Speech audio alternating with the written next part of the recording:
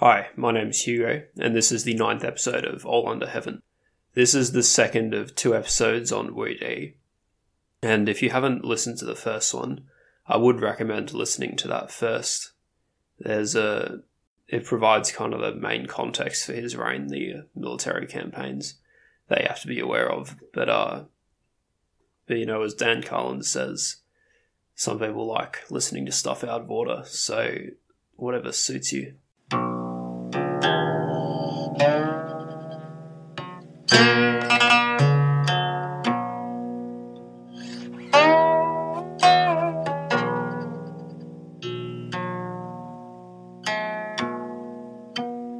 Last episode, we talked about Han expansionism under Wu Di, and it was the longest episode since the ones on the Qin. However, Wu Di's reign was so important and changed so many things in China that we're only halfway done talking about it. We've told the story of the conquest of new lands and the major victory over the Xiongnu, which was a turning point in Han Dynasty history. Now we'll be looking at what was going on within China. What effects did this intense period of warfare and expansion have on other aspects of Chinese life? And we'll also get to shed a bit of light on who exactly Wu Di was as a person, and what impact his particular characteristics had on Chinese history.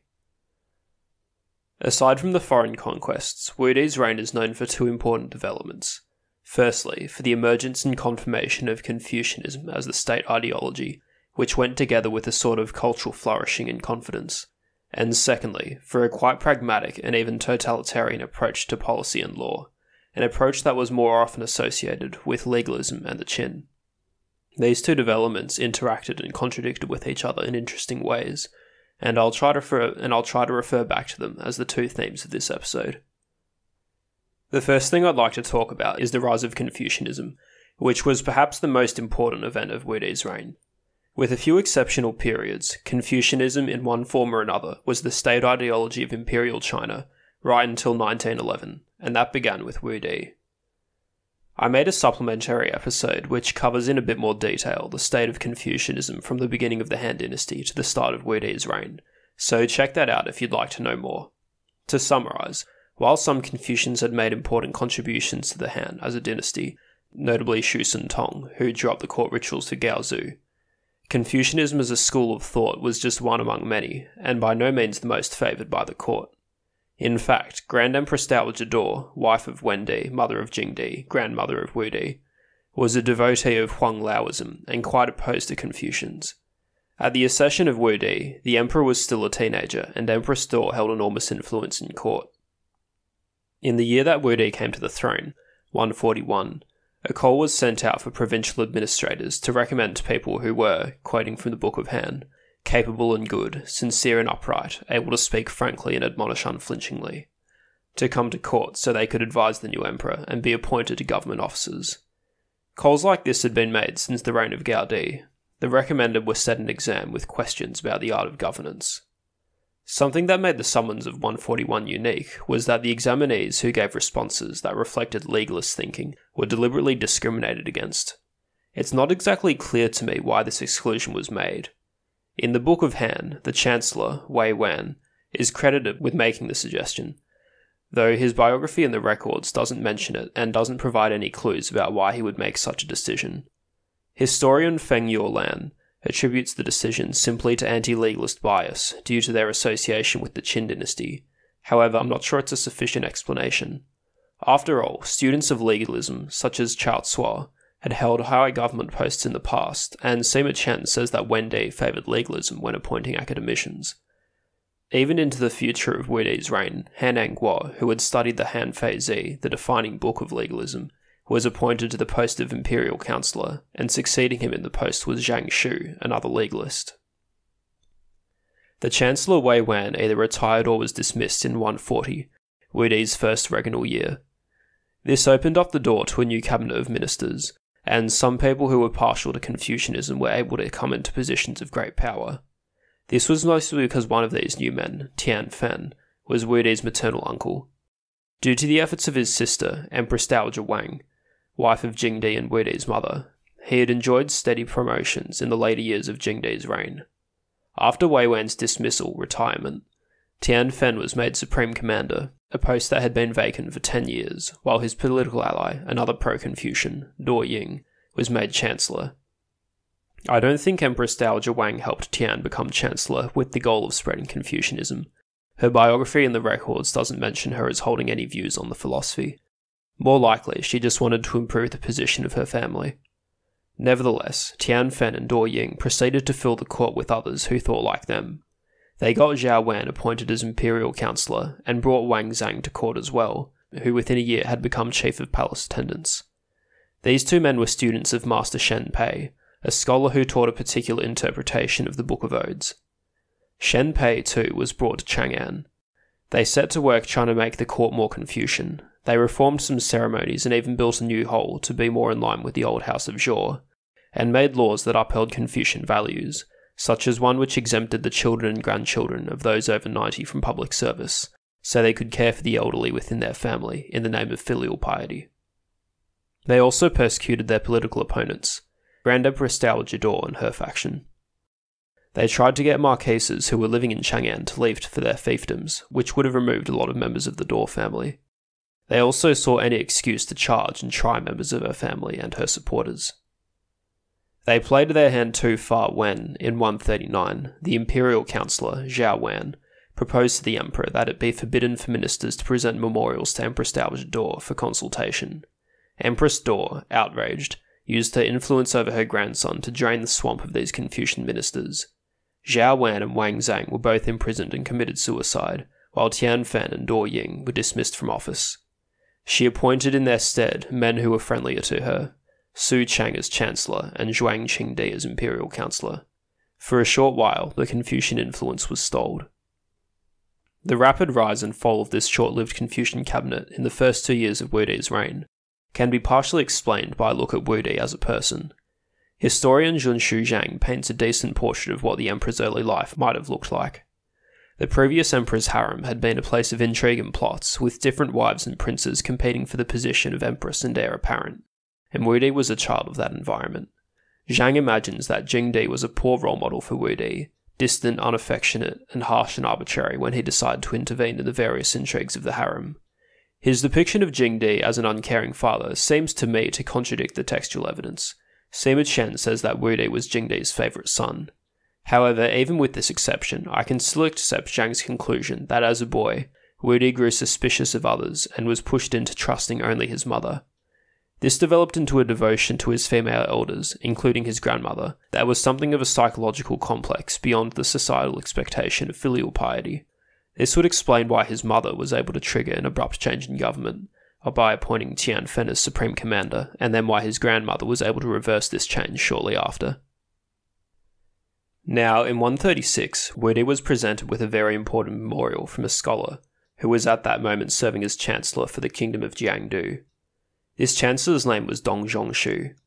During the reign of Jingdi, he had been appointed as an erudite of the Han court, and he had been moved to his current office when Wu Di came to the throne. He was an expert in the Spring and Autumn Annals, and a work, and a work attached to it called the Gongyang Commentary. This Gongyang Commentary was an interpretation of the Annals, which held that it was not just an historical record, but that it put forth Confucius's vision of a political order, which could be understood through noticing supposed subtleties and hidden meanings in the sparse wording of the Annals. The text of the Gongyang is largely an exegesis uncovering these subtleties and hidden meanings. Dong in his own work quoted from the annals a lot, and thus he wrote a book that is called Chun Qiu Fan Lu, Luxuriant Dew of the Spring and Autumn Annals. Dong Zhongshu's philosophy was a Confucian synthesis of all sorts of different ideas that had been bouncing around, made for the imperial age. To be honest, I'm too stupid to understand the nuances of Chinese philosophy. Vaguely speaking, what Dong Zhongshu provided was a metaphysical superstructure for Confucian ethics – which allowed Confucianism to compete with philosophies such as Taoism, which often disparaged Confucianism for being too bogged down in the messy world of man and ignoring the realm of heaven. At the same time, Dong provided room for practical techniques of government, which allowed Confucianism to stand up to legalism, the latter often accusing the former of being too idealistic. There were also some important political elements, uh, particularly appealing to Wu Di, Dong's philosophy made the position of emperor the essential point of interaction between heaven and man. which was a great argument for the illegitimate authority of the Han regime. As historian Michael Loewe describes, when Liu Bang came to power and founded the Han dynasty, his claim to authority was largely based on the fact that he had conquered all his rivals to the position, as well as his claimed personal links to divine entities. As the emperorship passed down, Liu Bang's descendants couldn't really make the same claim based on conquest. They hadn't had to defeat anyone to achieve their position. Men such as Lu Jia and Jia Yi advanced the idea that it was the emperor's ethical qualities that gave him his authority. Dong Zhongshu now emphasized the divine aspect, reviving the old Zhou idea of the mandate of heaven. This was an idea that the young emperor was happy to support as a means of propping up his claim to authority. Dong believed that natural and supernatural phenomena, such as earthquakes or sightings of mythical creatures, were related to the conduct of government, and might indicate whether policy was going in the right direction or not. It was conventional wisdom that the emperor's personal virtue or lack thereof could have an effect on the realms of heaven and earth, but Dong made the strongest argument yet that political decisions could have similar effects. The philosophy came to be very influential under later Han emperors, though, as we'll see, Wudi himself was not necessarily convinced by it. Another important aspect of Dong's philosophy is Sheng Wang, meaning universal kingship. This meant that the emperor's divine right extended not just over China, but to all under heaven. It was his duty to get foreign peoples to acknowledge him as their sovereign. Obviously, this was a great justification for Wudi's expansionist ambitions.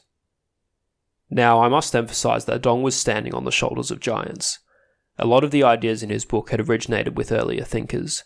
The thing that really made him stand out was how he fused all these ideas together into a working synthesis. So, in 136, Dong submitted his memorial to the emperor, which called for a unification of thought, meaning a sanctioning of Confucian thought. It read, quote, The principle of great unification in the Chun Qiu, Spring and Autumn Annals, is a permanent warp passing through the universe, and an expression of what is proper extending from the past to the present. But the teachers of today have diverse ways, men have diverse doctrines, and each of the philosophic schools has its own particular position and differs in the ideas which it teaches. Hence it is that the rulers possess nothing whereby they may effect general unification.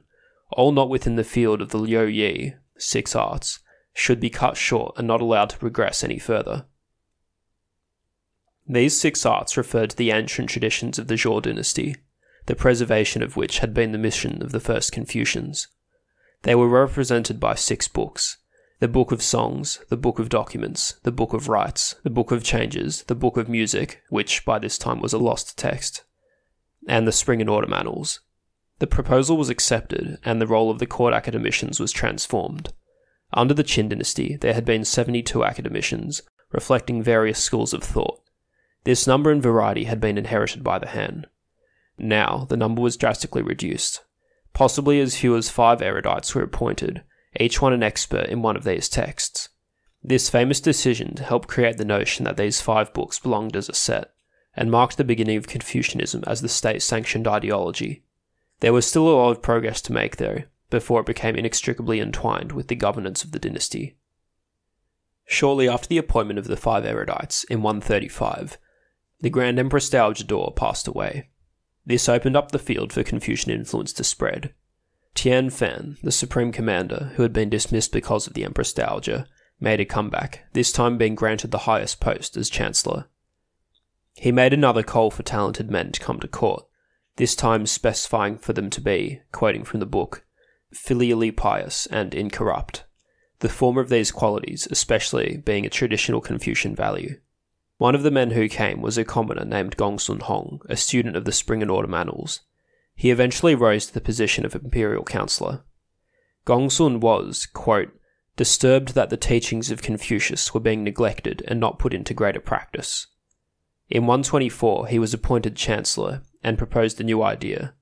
Every year, 50 men from around the empire should be brought to Chang'an as disciples of the academicians at the end of the year, they would undergo an examination, and those who showed a deep understanding of one or more of the classics would be appointed to low or mid level government positions. Students were to be picked from, quote, any men who are fond of learning, show respect for their superiors, adhere to the teachings of the government, and honour the customs of their village, and whose actions in no way reflect discredit upon their reputations. This regular cohort of 50 students was the true beginning of the Taixue, the Han Imperial Academy. It would produce generation after generation of men who would fill out the vast bureaucracy of the empire. Now, it's worth asking why being an expert in one of these Confucian classics would be a useful skill for a bureaucrat, and more broadly, why Confucianism, of all the schools of thought, reached this position of state ideology. Sure, Confucianism had things to say about governance, but so did all the other major philosophical schools. Gongsun Hong himself gave a clue to why such knowledge might be useful for an official in the memorial he gave to the emperor making the proposal. There's an interesting part where he praises the style of language used in imperial edicts and ordinances, describing it as, quote, stately and orthodox, but says that it has been difficult for officials to help the common people understand these orders. Translator Burton Watson explains that imperial edicts were often written in a quite archaic and vague form of language, which made lots of allusions to classical texts. Therefore, having men who were trained classicists posted in the various points of government throughout the empire would be helpful in properly interpreting and applying the edicts. Of course, this begs the question of why the edicts were written in this esoteric manner in the first place. There were more reasons why Confucianism may have been appealing on a broader level. Historian Feng Youlan considers its ascendancy to have been, quote, almost inevitable. The world of the Han dynasty made certain demands that Confucianism was particularly suited to fulfilling. The Qin dynasty had brought to an end the old feudal bloodlines and the authority that went with them. With the founding of the Han, there was a new class of aristocrats, mostly drawn from commoners who had fought for Gaozu, these men and their successors needed something that could distinguish them from the masses, and Confucianism could provide that in its expertise on ancient rituals and ceremonies, which it had always considered to be a means of distinguishing the high from the low. Also, like most ancient societies, maintaining a connection to the past was very important to the Chinese, and as the Confucians were first and foremost classicists, this was another thing they could offer that other schools couldn't. While books that were central to other traditions such as the legalists' Book of Lord Shang and the Taoists' Classic of the Way and the Virtue, came from the Warring States era. The Confucian classics, the documents, the odes, and the others, had their origins in the former Zhou period. Historian Mark Edward Lewis elaborates on why this connection to antiquity was useful to the state. After 154 BC, when the revolt of the Seven Kingdoms was defeated, military power became a less visible manifestation of authority, after all, China was more peaceful and secure than it had been for a long time. This meant that the state needed to reform its image to maintain its legitimacy. Having the biggest army in China was not enough anymore. Instead, the Han began to claim that it was, quoting Lewis, the patron of Chinese civilization. Endorsement of Confucian learning, a tradition focused on classical texts, was the key method of making this claim. As Feng points out, these things made Confucianism a fairly conservative doctrine, but at the same time it contained that revolutionary element that had been there from the start and was still just as important now. The Junzi, the superior man, was defined by his personal moral quality, not his birth. Sure, the fact that it was hard for a working class person to get an education was a major obstacle to attaining the Confucian vision of virtue, but he could, in theory, become a Junzi, Thus, it was conservative enough to be palatable to the elite, but at the same time it had the room for the sort of meritocracy that was necessary to govern an empire. As well as these things that were in Confucianism's favour, Feng notes some deficiencies in other major philosophies that prevented them from achieving the same sort of position. Legalism, despite having the most practical approach to government, had been tarnished by the Qin dynasty. Rightly or wrongly, Han commentators blamed legalism for Qin's downfall, making it very unlikely that legalism could reclaim the position of state ideology it held under Qin. Statesmen would continue to use legalist methods into the future, and many of the institutions that Han inherited from Qin were legalist in conception. However, the philosophy would have to live on as a sort of underground, unacknowledged influence. Openly describing oneself as a student of Shang Yang or Han Fei became impossible, and according to Feng, it became a common accusation in imperial China to say certain rulers or statesmen were, quote, Confucianists in appearance, but legalists in reality. As for Taoism, the third major school, Feng says that it had its uses, especially for the early period of the dynasty, but also its limitations. Its principle of non intervention had been useful in helping China recover after the destruction of revolution against Qin and the subsequent civil war. However, that process of recovery had now been achieved, and clinging to the Taoist model was needlessly restrictive to a government that wanted to undertake major projects. The Huang Lao doctrine of Taoism, that so far had been the closest thing to a consensus ideology for the Han, explicitly advised against military aggression, which did not at all fit Wudi's vision. Feng says that throughout the history of imperial China, the different focuses of the two schools of thought meant that the philosophical pendulum tended towards Taoism in times of chaos and to Confucianism in times of order. Well, at least for now, chaos had been overcome and order achieved. If those are some suggestions as to why Confucianism, out of all the other schools of thought, became the state ideology, we're led to another question. Why did there have to be a state ideology at all? I think in the modern world we often consider orthodoxy a negative force. We appreciate diversity of thought because of the new ideas that can be produced through debate. Having an officially sanctioned ideology feels stifling, an obstacle to evolution. Nevertheless, we do have certain tenets that we expect everyone, or at least our politicians, to agree on. If we live in a democracy, we want our politicians to believe in the principles of democracy. If we live in a country governed by a constitution, we expect the state to abide by it. Even in something like scientific or indeed historical research, the community of experts has an agreed upon methodology so that they can determine what is valid and invalid. Thus, we can see that having certain beliefs that everyone shares can be very important and valuable, even in the modern age. It seems to me that orthodoxy would be even more important for an ancient state than a modern one, where the instruments of government weren't as fully fleshed out as they usually are now. If, say, the Premier of Victoria decided that the state was going to secede from the rest of Australia, there are so many obstacles in his way that it's kind of inconceivable that he'd even make such a declaration. On the other hand, if the governor of some frontier commandery, or the king of one of the feudal kingdoms, decided that they would stop listening to the emperor, well, it would be tricky, but they'd have a decent chance of getting away with it for a while having everyone in an official post believe in a particular ideology was one way of decreasing the chances of something like that happening.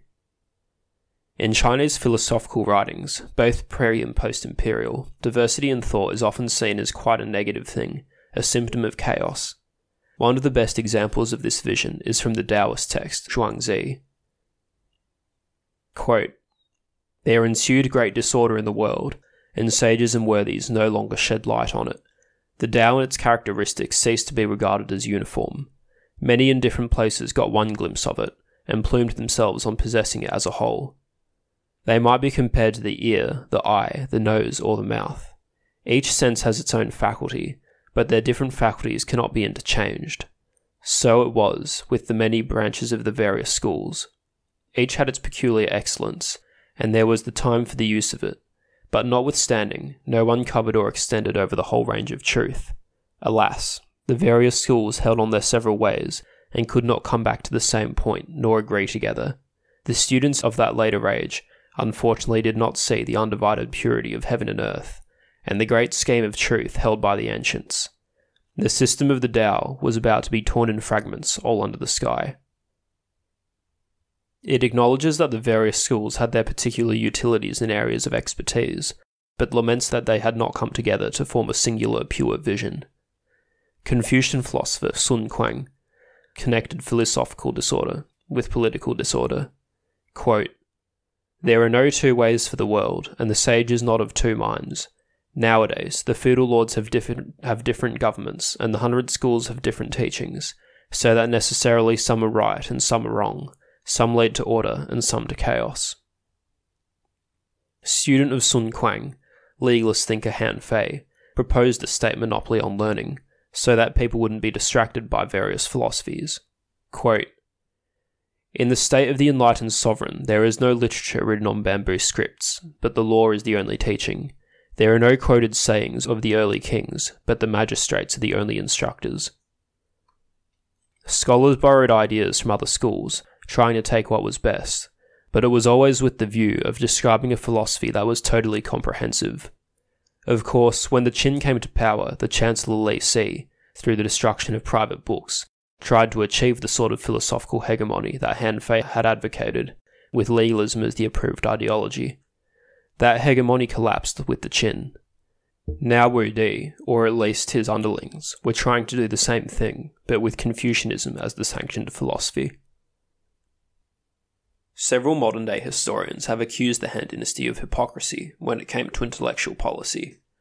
According to Han writers, the greatest atrocity of the Qin dynasty was the burning of the books and the burying of the scholars, which they portrayed as an attack on scholarship in general and Confucianism in particular. But as we discussed in the episode on the Qin dynasty, this was not an entirely accurate picture. Furthermore, now that the Han was setting its own state ideology, it seems to have been following the Qin example. Historian Mark Edward Lewis says, quote, Contrary to Han claims, their own intellectual policies in the early Han period followed Qin precedent. The Han's establishment of the classical Confucian canon as state orthodoxy represented not a radical reversal of the Qin practice, but simply a narrowing of scope.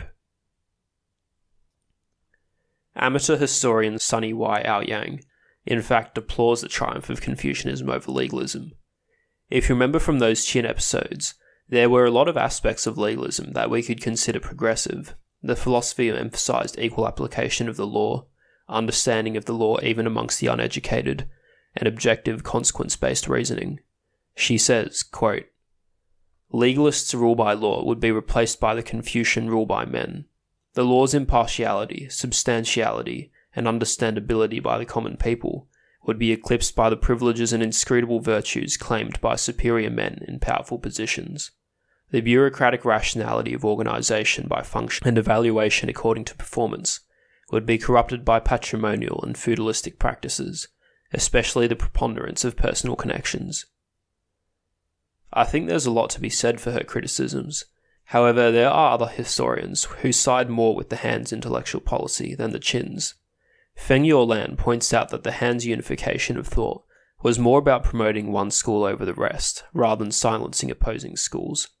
There was no punishment prescribed for private education of whatever type. It was simply that if you wanted to work for the government, you needed Confucian training.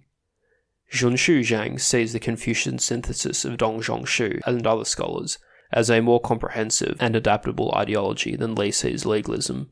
He says, quote, The reformation of Confucianism really led to the formation of a new paradigm of Confucian theory, of statecraft, by absorbing all the practical and idealist elements in the political thought of the legalist, Huang Lao, later Taoist, Moist, Yin Yang, and military science schools, while retaining the pristine ideas of earlier Confucianism and Xunzi's Confucianism.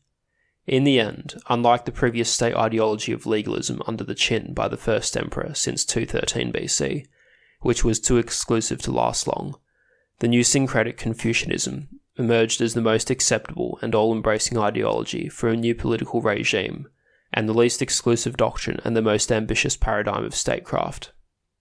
In fact, it was to be the state endorsed ideology in the Chinese Empire for most of the next 2,000 years, though many new reformations had to be made for its survival in changing times.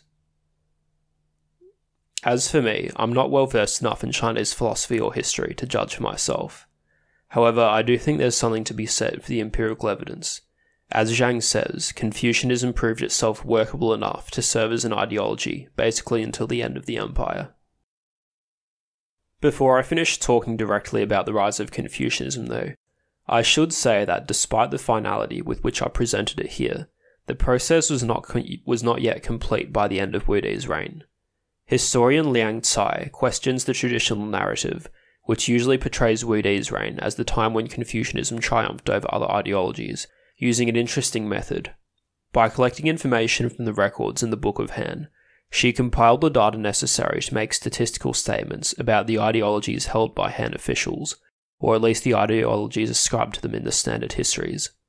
Her work shows that despite the efforts of men like Dong Zhongshu and Gongsun Hong, Confucians remained a minority faction in the government during Wu Di's time on the throne. Of the 12 men who served as chancellor under Wu Di, only one, Gong Sun Hong, was identified as a Confucianist. Although Tian Fen and Dou Ying were described as sympathetic to Confucianism, neither was actually a scholar of any of the classics. Furthermore, none of the seven chancellors who succeeded Gong Sun Hong was a product of the Imperial Academy examination system which he had created. Even when we look at things through a larger aperture, the conclusions are the same. The most senior positions in the Han bureaucracy were the three excellencies, that is, the Chancellor, Imperial Councillor, and Supreme Commander, the nine ministers, and the senior officials of the metropolitan region. 141 different people reached these positions in Wudi's reign. Of these, 77 can be identified. Of the 77, only six were described as Confucianists. Gongsun Hong was the only one who rose to prominence through Tian Fen's recommendation system, and Ni Quan was the only man who came from the Imperial Academy. In fact, it seems that the majority of the officials were not labelled with any particular ideology at all. Two of the 77, Ji An and Zheng Dangxi, were called Taoists or followers of Huang Lao thought, and two more, Han Anguo and Zhang Shi, were identified as legalists. This leaves 67 of the 77 identified of the 77 identified officials as not belonging to any particular school of thought. Liang Cai's methods suggest that it was not until after Wu Di that Confucianism became a powerful political force. The combined reigns of the next three emperors totaled 54 years, the same length as Wu Di's reign. 140 people achieved those most senior positions. 74 of them can be identified. Of these 74, 24 were called Confucianists, a significant minority and a larger number than any other school of thought. Liang's findings show that the efforts of men like Dong Zhongshu and Gong Gongsun Hong did not bring about an overnight transformation in the type of person who filled out the Han bureaucracy. However, it was the institutions they created that facilitated the change under later emperors, and I do think there's something to be said for the disproportionate influence a single man can have. There are also some limitations to Liang's method. There, there are the problems that are inherent to working with the sources, as we saw, of the 141 eminent officials in Wudi's reign, only 77, little more than half, can be identified, and we can say nothing of the hundreds, the thousands of men working in lower level positions. Also, it only considers men who were identified as Confucianists or Ru in the records in the Book of Han, but discounts those who were described as sympathetic to Confucianism, like Tian Fen and Dou Ying, but who were not called Ru because they were not scholars in any of the classics. So while Liang's work is an important qualification, I'm not sure we can completely chuck out the standard narrative of Wudi's reign being a time of rising Confucianism.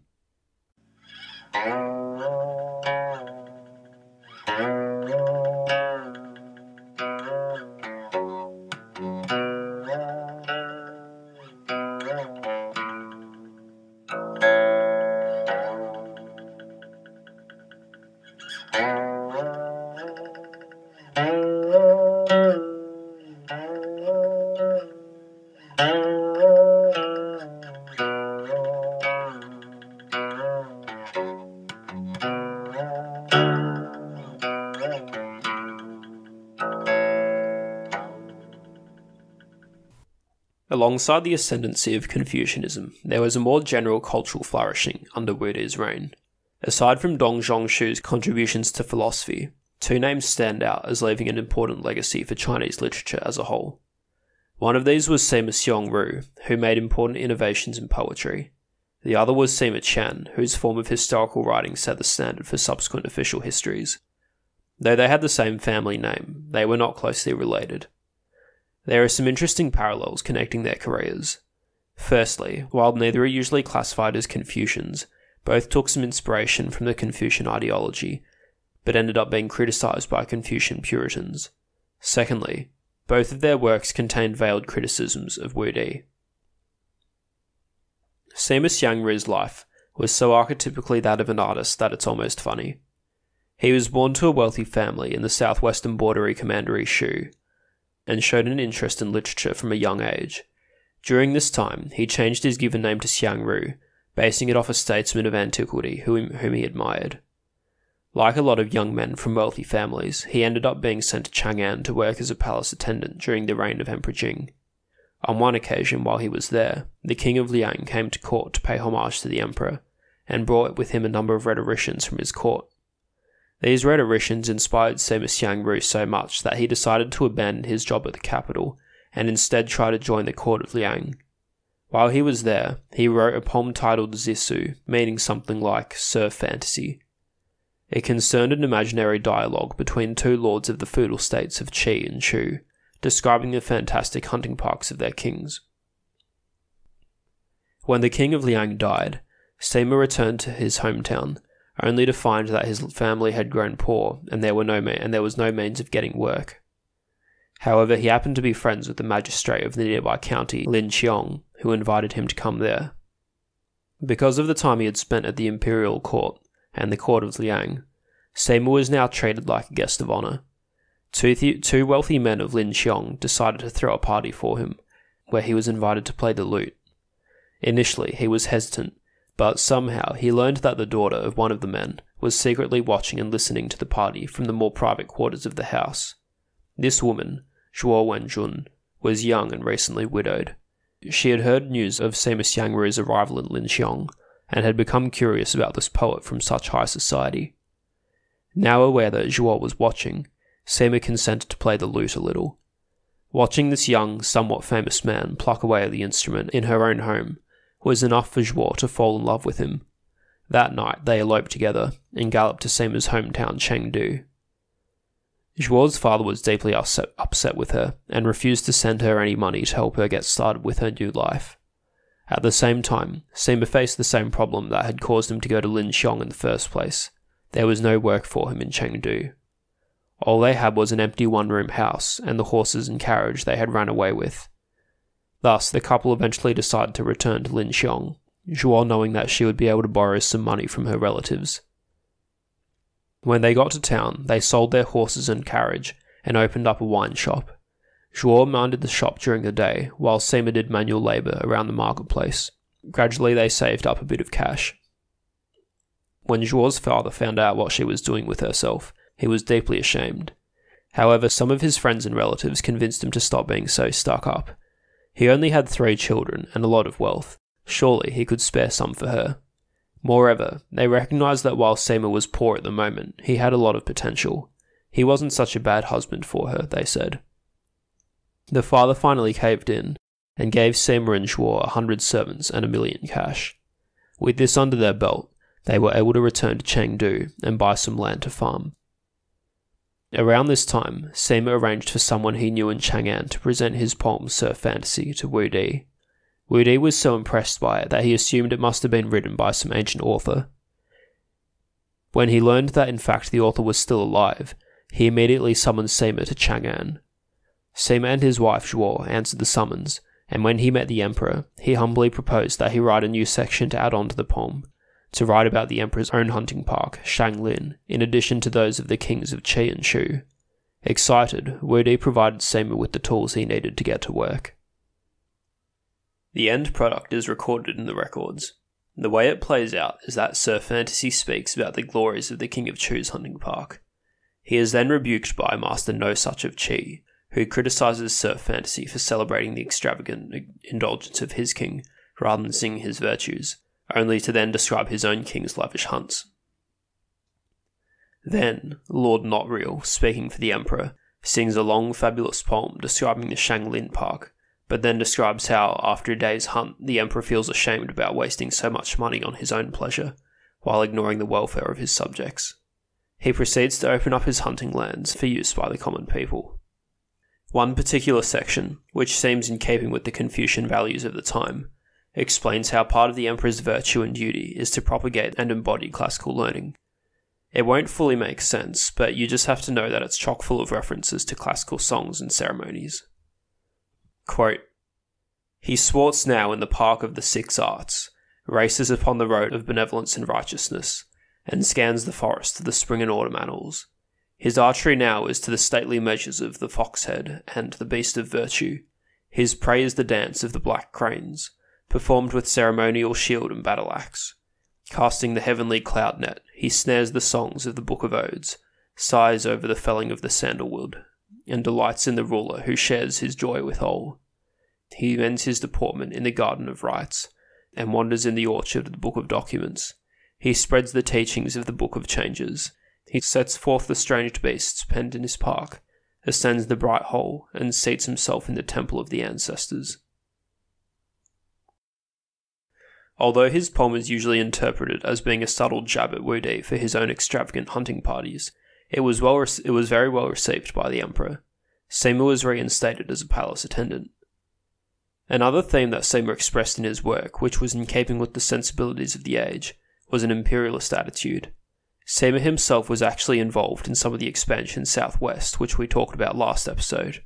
In 135, an official named Tang Meng was leading a diplomatic military expedition to the southwest, which resulted in the establishment of the commandery Jianwei. In the course of carrying out his mission, he abused something called the military supply law in order to execute Chinese officials in the Shu and Ba commanderies, who weren't being helpful enough to his expedition. The Emperor sent Sima, a native of Shu, to try and smooth things out. Later, Sima himself led a diplomatic mission to some of the barbarian tribes in order to convince them to come over to China, which succeeded in adding several new counties to the Shu commandery.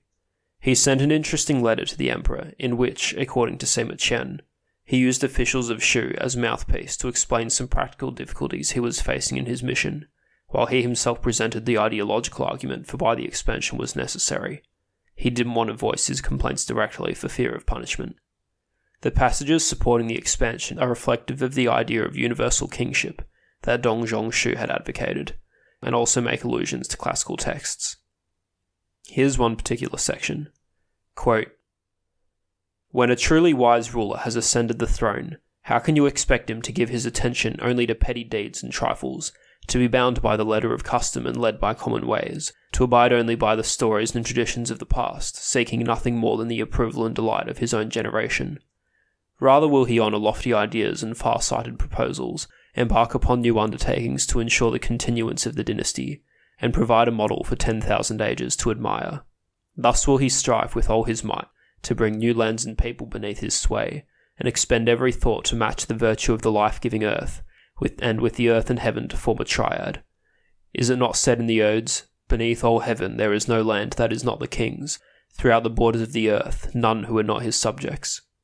Therefore, within the six directions and beyond the eight corners of the earth, wherever his virtue flows, if there is any creature that is not touched and transformed by his mercy, the wise ruler considers it a source of shame. Now within the border of the nation, the men of China, with their hats and girdles, all enjoy the highest blessing, and none are excluded or left out. But in the lands of the strange mannered barbarians, in this distant in the distant regions of the foreigners, where our boats and carriages cannot penetrate and our people seldom set foot, the teachings of our government are as yet unknown, and the wind of virtue which issues from our sovereign blows but faintly. Therefore, when they enter our borders, they turn their backs upon duty and insult propriety, while within their own lands they commit all manner of wanton evil, banishing or assassinating their leaders. Among them, ruler and subject change places, honourable and lowly are confounded, fathers and elders suffer for crimes they have not committed, and children and orphans are taken as slaves, bound and weeping. Then do they look toward our land and cry out in anger, saying, We have heard that in China there is a ruler of supreme benevolence, whose virtue is manifold and whose mercy is all embracing so that under him all beings find their just place. Why are we alone deprived of his blessing? On tiptoe they stand, gazing longingly like men in drought at a distant rainstorm. Even the cruelest of men would shed tears for them. How much more then must a great sage, like our ruler, be moved to pity by their plight? So, even though he had some hesitations about how feasible the expansion west was, he clearly thought it was the right thing to do. Now, while he was in Shu, on his mission to the southwest, Zhuo Wenjun's father fully reconciled with his daughter and her husband, and he gave them a nice bit of real estate. Zhuo actually wrote some of her own poetry as well. A poem called Song of the Snow White Heads is attributed to her. Eventually, Sima became sick and retired from Wudi's court to their new house. He died in 117 BC. When he heard the news, the emperor sent men to Sima's house to see if he had left any poetry behind. However, when they got there and spoke to Sima's wife, she told him that he had only left a letter, with instructions to give it to the emperor once he had died. The letter sang praises of the Han, and urged Wu Di to perform the religious ceremonies known as the Feng and Shan sacrifices, and to make a record of the event. One part read, quote, We beg you at the same time to set forth a true record of the deed, couched in rich and sonorous language, so that it may stand beside the spring and autumn annals, then will a seventh classic be added to the former six, to be handed down for ages everlasting, that all, pros- that all posterity may be washed by the clear currents of your virtue, and lifted upon its spreading waves, that the fame of such a virtue may be noised abroad, and its previous worth be known to all. Despite some minor objections he may have had about the Emperor's hunting parties, Sima was clearly a believer in Wu Di and his empire. However, his career was not without censure. Confucian purists objected to some of the more fantastical elements of his poetry. From the orthodox point of view, poetry ought to be serious, straightforward, and deal with real world subjects, like the style of the verses contained in the Book of Odes. However, Sima was more inspired by another ancient collection of poetry, the Songs of Chu, which preserved the more imaginative and expressive poems of the South. His description of the Shanglin Park in his poem on the matter delved well into the fantastical. One section describes towers that reach the heavens, mythical creatures, and visits from immortals. Quote, so lofty the palaces that comets stream through their portals, and rainbows twine about their balustrades.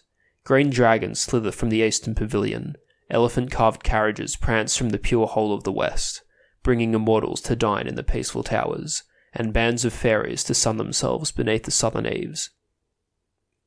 Such tosh would not fly with classicist purists, and in fact, when the official copy of Sima's work was made for the Imperial Library, the sections describing the Shanglin Park and the hunting parts of Chu were omitted, on the grounds that, quote, the extravagant language of the poet had overstepped the bounds of reality, and displayed too little respect for the dictates of reason and good sense.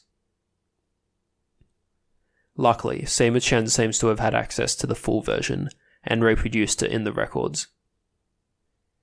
Interestingly enough, the biography of Sima Xiangru seems to suggest that Wu Di himself enjoyed the more extravagant and fantastic elements of his work. The emperor was very interested in the idea of eternal life, and especially liked the parts of Sima's poems that dealt with immortal beings. Sima once wrote a poem called The Mighty One for Wu Di, and, we are told in the records, that in writing the poem, he considered that traditional representations of immortals, wherein they were humble, hermit like figures living in swamps and hills, would not be appealing to Wu Di's tastes, and instead wrote in the same extravagant style that he used in his description of Shanglin Park.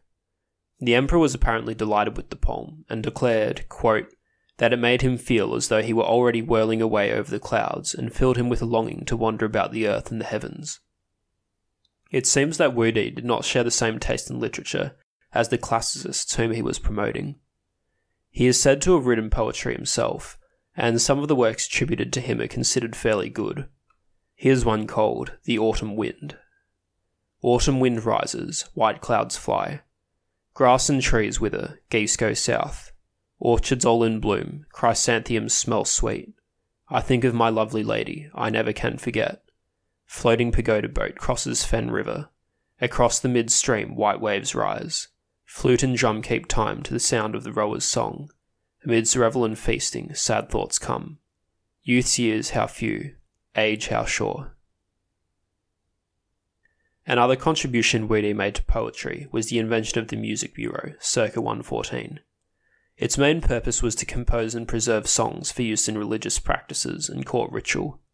Many of the works attributed to it resemble folk songs, and historian Mark Edward Lewis says that they are characterized by, quote, impersonality and detachment in presentation, stereotyped situations or plots, lack of introspection, ahistoricity, abrupt transitions, use of commonplace phrases, recurring refrains, and colloquialism. However, they also incorporated classical language along with vernacular and were intended for court use, so they weren't pure folk. Other songs attributed to the Bureau tell more complex narratives and make references to historical or literary figures, which show that they were intended for an educated crowd. Some were more similar to the works of Sima Xiangru, focusing on fantastical subjects.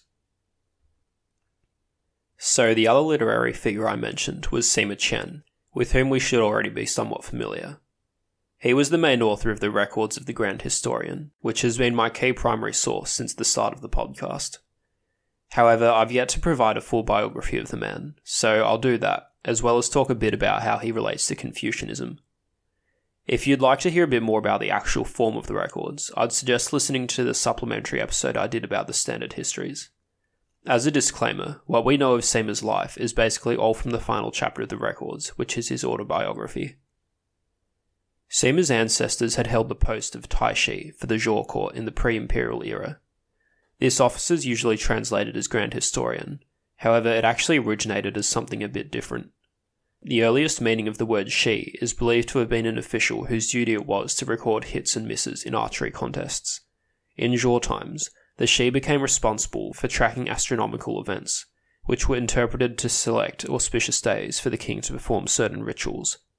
Their duties expanded into recording other divine omens, and eventually they started making records of affairs of state, which became the first official chronicles. In Han times, keeping an historical record was not actually part of the official duties of the Grand Historian. However, because of the history of the office, there was an association between the duties that the Grand Historian performed and writing records. Sima was born at a time when his family were living as farmers somewhere along the Yellow River. From childhood, Sima showed an interest in history and literature, and he learned how to read classical texts at a young age. At the ascension of Emperor Wu, Sima's father, Tan, received a job as Grand Historian. Tan focused mostly on the astronomical aspects of the job, as was expected of him. However, he deeply wished he could live up to his ancestors and make some sort of historical record.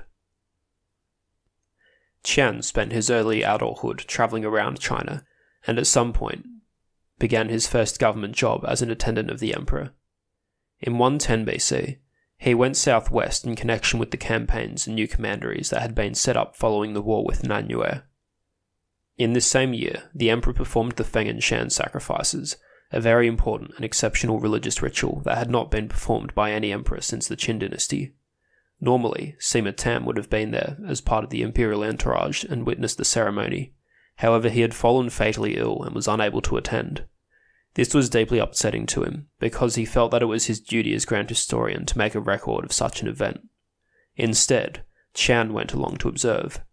When Qian returned, Tan was on his deathbed. Tan was regretful in his final moments. He felt that he had been unable to complete his duty to make a record of the important events of his age. He said to his son, quote, Our ancestors were grand historians for the House of Zhou. From the most ancient times, they were eminent and renowned, when in the days of Yuan Xia they were in charge of astronomical affairs. In later ages, our family declined. Will this tradition end with me? If you in turn become Grand Historian, you must continue the work of our ancestors, now the House of Han has arisen, and all the world is united under one rule. I have been Grand Historian, and yet I have failed to set forth a record of all the enlightened rulers and wise lords, the faithful ministers and gentlemen who were ready to die for duty. I am fearful that the historical materials will be neglected and lost. You must remember and think of this. Custom mandated a three year mourning period for the loss of a parent. After Sima Qian had completed this, he fulfilled his father's wishes and managed to become Grand Historian. Once he attained the post, he started working in private from the materials his father had left him, a project that became the records of the Grand Historian. The most famous incident of his career was when he argued in defense of General Li Ling after the latter was defeated by the Xiongnu in 99 BC. Wu Di was very upset with Li and was upset at Sima for defending him. Sima was sentenced to death, such a punishment could be commuted by a fine or castration. Sima could not afford the former, so he decided to endure the shame of the latter. He reflected that many of the great classics were supposed to have been written when their authors were in the throes of despair of some form or another. Surely, he too then could tolerate being a eunuch in order to complete his great work. The records was probably finished around 94 BC, with two original manuscripts, one at the capital and one somewhere else as a backup copy. He died about 10 years later. The two great works of Chinese history that preceded the records, the Book of Documents and the Spring and Autumn Annals, were both amongst the five classics, so Sima couldn't help but be influenced by classical learning. He especially took inspiration from the Annals, and may have even seen himself as following the footsteps of Confucius. In his autobiography, he recounted a lecture that his father gave him. Quote, My father used to say to me, 500 years after the Duke of Zhou died, Confucius appeared. It has now been 500 years since the death of Confucius. There must be someone who can succeed to the enlightened ages of the past, who can set the transmission of the Book of Changes, continue the Spring and Autumn Annals, and search into the world of the odes and documents, the rites and music. Was this not his ambition? How can I, his son, dare to neglect his will? Now, the Spring and Autumn Annals is a peculiar work, I've talked a bit about it already in relation to Dong Zhongshu, as well as in earlier episodes. However, it's worth recapping. The Annals itself is a very bare bones record of events in the feudal state of Lu. The core of the Annals is barely what you would consider a history book. It's just a year by year chronicle with very little narrative sense. However, since at least the time of Mencius, it was believed that Confucius himself had some role in editing or compiling the Annals, and thus it received a lot of attention from scholars. There are three commentaries on the Annals that have become classics in their own right, and two of these were in existence by Sima's lifetime the Gongyang commentary and the Zuo commentary. Both sought to interpret meaning from the sparse words of the Annals. Historian and translator Burton Watson extracts from them two major contradictory tenets. Firstly, that the historian should be an impartial observer, and secondly, that the historian ought to use history to communicate moral judgments. The commentaries held that sometimes Confucius, in writing the Annals, was attempting to be objective, making notes of events without inputting his biases, and avoiding claims of fact when he was unsure of a particular matter, and at other times, he supposedly used subtle hints of language, omitted or even falsified facts, in order to illustrate some ethical point. Both the Gongyang and Zuo commentaries interpret the Annals in these ways, although the Gongyang school tended to emphasize the Annals more as a work of moral judgments, and the Zuo as a work of history. Luckily for us, Sima took the former of these interpretations, the idea that the historian should aim for objectivity as his key precept. He was diligent in his research. Many of the notes at the end of his chapters mention how he read some primary source or interviewed someone who was related to the topic of the chapter. There's nothing that suggests that he made deliberate distortions of fact, as Confucius was attested to have done. Watson says, quote, Criticism may be made here and there of the way in which Sima Qian applied his methods of historiography, or the degree of success with, to which he realized his aim. But these methods and aims themselves, as he explains them, would do credit to a historian in any age. However, he inevitably took some influence from the other side of what the Annals was supposed to be a work of moral instruction. And indeed, as historians today will tell you, it's impossible to write a truly objective history. For the most part, though, Sima made his judgments in ways that don't interfere too much with his goal as being his, as historically accurate as possible. One obvious method is in the remarks he makes at the end of each chapter, which often relay Sima's personal thoughts on the subject. Another way which is a bit interesting is done by using the peculiar form of the records. Because the records is largely a collection of biographies of people whose lifetimes overlapped, the events of a single person's life can be scattered in several different chapters, in their own and in other chapters in which they appear as a side character. In some cases, it seems that Sima puts the episodes that reflect well on a person in their own biographies, so that the reader can view them with sympathy, while leaving episodes that reflect less well on the person to be recounted in other chapters. One great instance of this involves an event we talked about in episode 3, Liu Bang and Liu Bang versus Xiang Yu. If you remember, there was one point where Liu Bang and Xiang Yu had a confrontation at Guangwu.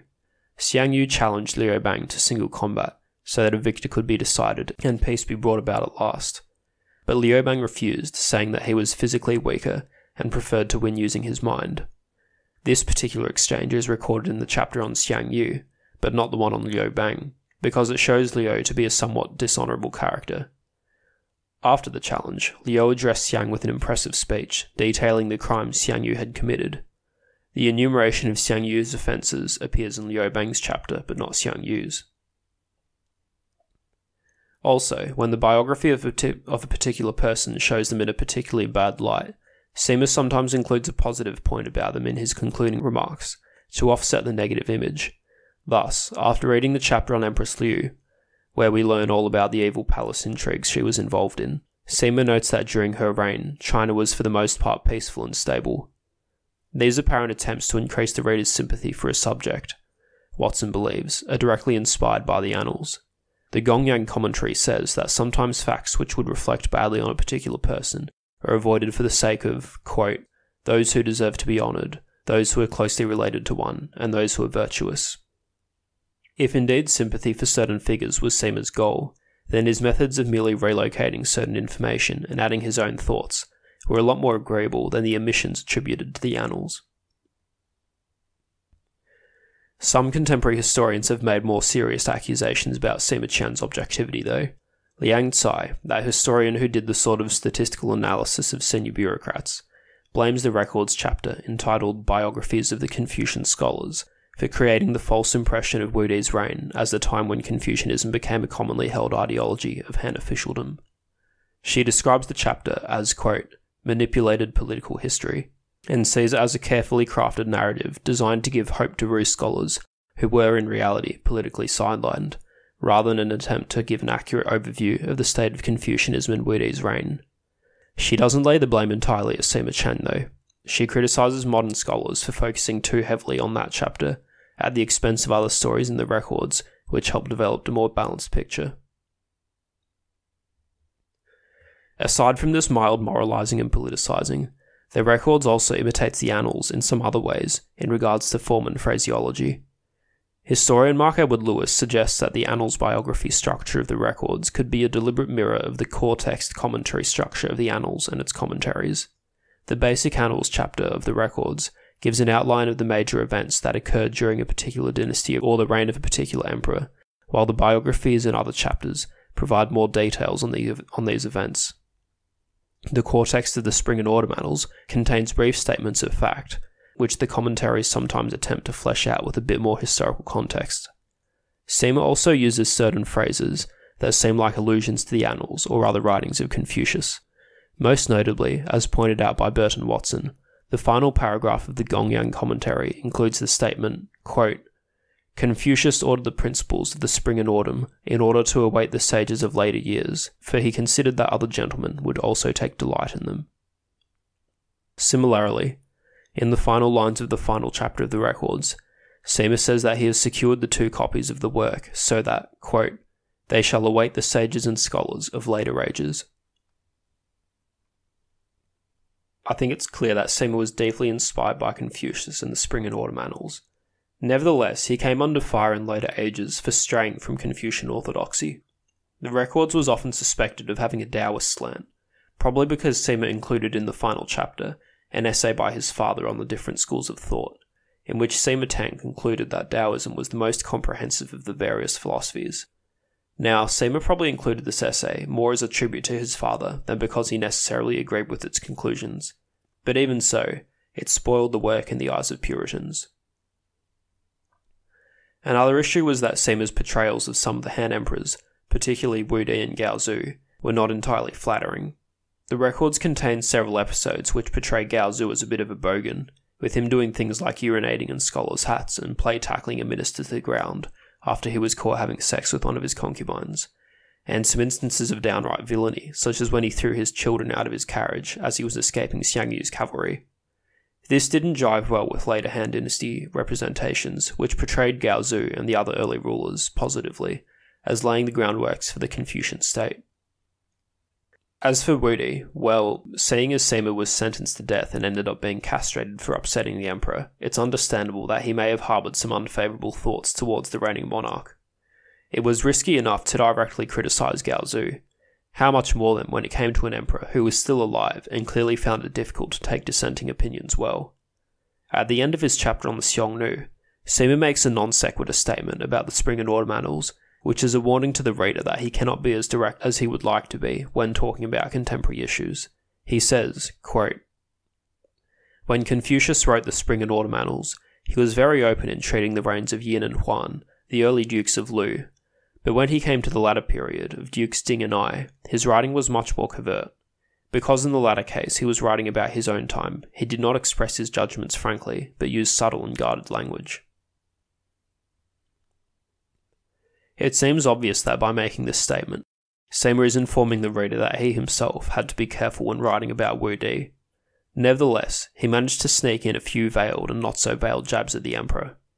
After this reference to the annals, he goes on to say quite directly that the ruler has been following the advice of flatterers and overconfident generals when it comes to the Xiongnu, which meant that, quote, no profound achievement is ever reached.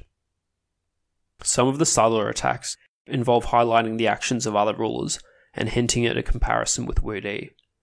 At the end of his biography on Wendi, Sima points out how Wendi, despite being recognized as a good, virtuous emperor, declined to perform the Feng and Shan sacrifices or reform the calendar, which would have indicated the beginning of a new phase of the five element cycle. If you remember, the Qin dynasty had supposedly esteemed the element of water, and even after the Han was founded, water continued to be the honoured element. It was considered that the Han couldn't really proclaim a new phase until the dynasty was quite confident in itself as a stable and divinely favoured regime. Sima says, quote, Emperor Wen reigned some forty years after the founding of Han, and his virtue was of the highest order. The time had drawn near when he might appropriately have changed the beginning of the year, altered the court investments, and performed the Feng Shan sacrifices, but the emperor modestly declined within his reign to take such steps. Ah, was he not benevolent indeed? The rhetorical question at the end seems to design seems designed to invite comparison with Wu Di, who did in fact declare a new phase and perform the Feng and Shan. Given that Sima does not lavish Wu Di with the same sort of praises of humility and virtue as he does with Wendi, the passage seems to suggest that it was arrogant of Wu Di to make these changes. Another comparison that Sima makes comes at the end of the chapter titled The Balanced Standard, which is in premise a history of monetary policy. The chapter contains a narrative of deprivation during the Qin dynasty, where the first emperor was exhausting China's resources on foreign wars and construction projects, then a rise during the Han which peaked at the end of Jingdi's reign. This is the part where that famous passage describing China's prosperity, which I quoted last episode, comes from. The peak is followed by a decline during the reign of Wu Di, as more and more resources were burned up in more foreign wars. The structure of the chapter naturally invites a comparison between Wu Di and the first emperor, in his closing remarks, Sima euphemistically refers to the policies of the first emperor as the stream of circumstances, and has this to say quote, At that time, the ruler was busy driving back the barbarians from the borders of the empire, while within the empire he was carrying out various construction works and projects, so that although the men who remained at home worked the fields, they could not supply enough to eat, and though the women wove and span, they could not produce enough clothing. And so we see that in antiquity there was once a time when the entire wealth and resources of the nation were exhausted in the service of the ruler, and yet he found them insufficient. There was but one reason for this. The stream of circumstances flowed so violently at that time that it made such a situation inevitable. Surely there is nothing strange about this. His statement that these hardships were inevitable seems sarcastic, and it's very possible to interpret this criticism of the first emperor as implicating Wu Di as well. In fact, it's sometimes been suggested that Sima Qian may have exaggerated both the negative aspects of the first emperor and the positive state of the Han prior to Wu Di in order to make Wu Di look that much worse. Now, Sima Qian's greatest early critic was also his direct successor, Ban Gu, who wrote the Book of Han. Ban Gu admired much about Sima's work, and indeed used it extensively in writing his own history, sometimes copying sections verbatim. Because Ban Gu was alive during the Eastern Han dynasty, which often lightly vilified the Western Han, Sima's showing Western Han emperors in a sometimes negative light was a bit more acceptable, even if Ban may have considered Sima to have gone too far in a few places. He also celebrated Sima's methodology and style, saying, quote, he discourses without sounding wordy. He is simple without being rustic. His writing is direct and fact sound. He does not falsify what is beautiful, nor does he conceal what is evil. Therefore, his may be termed a true record. However, Ban also had some complaints to make, especially in regards to how Sima engaged with the classical tradition and philosophy. He accused Sima of being, quote, careless and sketchy, and taking, quote, improper liberties with his sources when he was working from the classics in their commentaries. More interestingly, he disliked some of the moral implications he interpreted from the records. He said, quote, His judgments often stray from those of the sage, Confucius. In discussing a fundamental moral law, he venerates the teachings of the Yellow Emperor and Lao Tzu, and slights the six classics. In his introduction to the memoirs of the Wandering Knights, he disparages gentlemen scholars who live in retirement and speaks in favour of heroic scoundrels. In his narration on merchandise and prices, he honours those who are skilled at making a profit and heaps shame on those in poverty and low station. It is these points which mar his work. While I don't think it's quite right, quite fair to say that Sima denigrated the retired Confucian scholars, it's true that he acknowledged the virtue and skill involved in careers that were thoroughly disapproved of by Confucian Puritans. Though clarifying that they weren't paragons of righteousness, he praised mob bosses and such for the loyalty for their loyalty to those under their protection, and he was able to look past the scholastic class's traditional disdain of wealthy merchants and admire the skill and wits it took to become rich through smart business. So, we have Sima Xiangru and Sima Qian, two figures who had a huge impact on Chinese cultural development, who were in some ways in tune with, and in some ways divergent from the ascendant Confucianism that was the main intellectual event of their age. Now, let's talk a bit more about the religious developments of Wu Di's reign, including the Feng and Shan sacrifices and calendar reform that Sima Qian was so con- had been so concerned with. Before delving in, though, I want to preface this topic with a disclaimer. Out of all the things I've read about in preparing to make this podcast, Chinese religion is the thing I least understand. Unlike something like Greek mythology, where you've got a fairly set cosmogony, an essential story of the Olympians overthrowing the Titans, there doesn't seem to be much of an overarching narrative to Chinese mythology. And it makes sense that there isn't. It's a really big country, and every little community had its own religious practices going on. For the several hundred years prior to the Qin unification, the general cultural trend of China had been towards fragmentation, as the old Zhou feudatories attempted to stake out an identity of their own. It makes sense that a clear unifying structure hadn't organically developed by the imperial period, and this lack of structure is a huge obstacle to an outsider like myself trying to comprehend the various myths. Furthermore, a lot of the gods and deities seem vaguely defined, and it's not always clear what they meant to the people who worshipped them. Some are connected with a particular local feature, such as a mountain or a river, some with a more general idea, such as with one of the elements or immortality. Some seem like they're more philosophical concepts than religious deities, and then there are the ones that straddle several layers of meaning. So, I'm going to mostly focus on the historical basics. What did Wu Di do in regards to religion, and what were the political implications? and I humbly beg for understanding that I am likely to make some huge error when I talk about the symbolic and religious context. The other thing to keep in mind is what is that what I'm talking about here are just the official religious practices of the emperor and the state, the specific rituals and that were sponsored by the government. Popular religion is basically a separate topic that I won't be getting into. Wu Di was probably more interested in religious practices than any of the previous Han emperors. Since the reign of Gaozu, apart from ancestor worship, the main religious ceremony was the sacrifice to the five Di, deities representing the five elemental powers. It was usually performed at Yong, some distance west of the capital. The Han had inherited the practice from the Qin, and Gaozu had made the addition of the fifth Black deity to the four that the Qin had worshipped. The recognition of all five powers was meant to communicate that it was ultimately Han that had unified China. But while Gaozu made this change to the rite, he never actually attended the regular ceremony. In fact, it was not until 165, Wendi's reign, that an emperor personally performed the sacrifice to the five Di. Due to some divine omens, Wendi thought that the time might be right to reform the calendar, thus recognizing that a new phase was in ascendance. In the lead up to making the changes, he performed the sacrifice to the Di himself, and wore red, which was associated with the power of fire, and suggests that he thought this would be the power to overcome the Black Water phase that had begun with the Qin dynasty. However, a year or so later, it was revealed that some of the omens had been faked by a man named Xin Yuan Ping.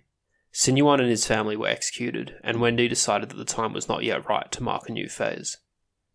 During Jingdi's reign, the usual sacrifices were carried out by the officials responsible for them, but it seems that the emperor did not participate in any himself. However, once Wu Di got to the throne, things changed.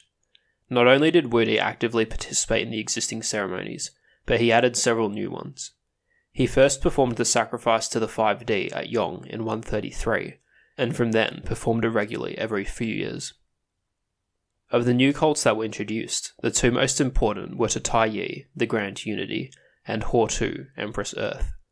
In addition to these regular cults, he often worshipped local religious sites if he happened to be travelling in the area. The emperor first established an altar for Empress Earth in 113 in Fenyin, in the Hedong commandery east of the capital. The grand historian, Sima Tan, advised that the emperor honour the colour yellow during the performance, which was the colour associated in the five phase theory with the element of earth. It seems to me that the emperor's performance of this sacrifice may have been a way of preparing for the declaration of a new phase that had long been awaited. When he did finally reform the calendar and declare a new phase, it was the power of Earth that was considered in ascendance. The Grand Unity was originally a deity from the pre imperial state of Chu.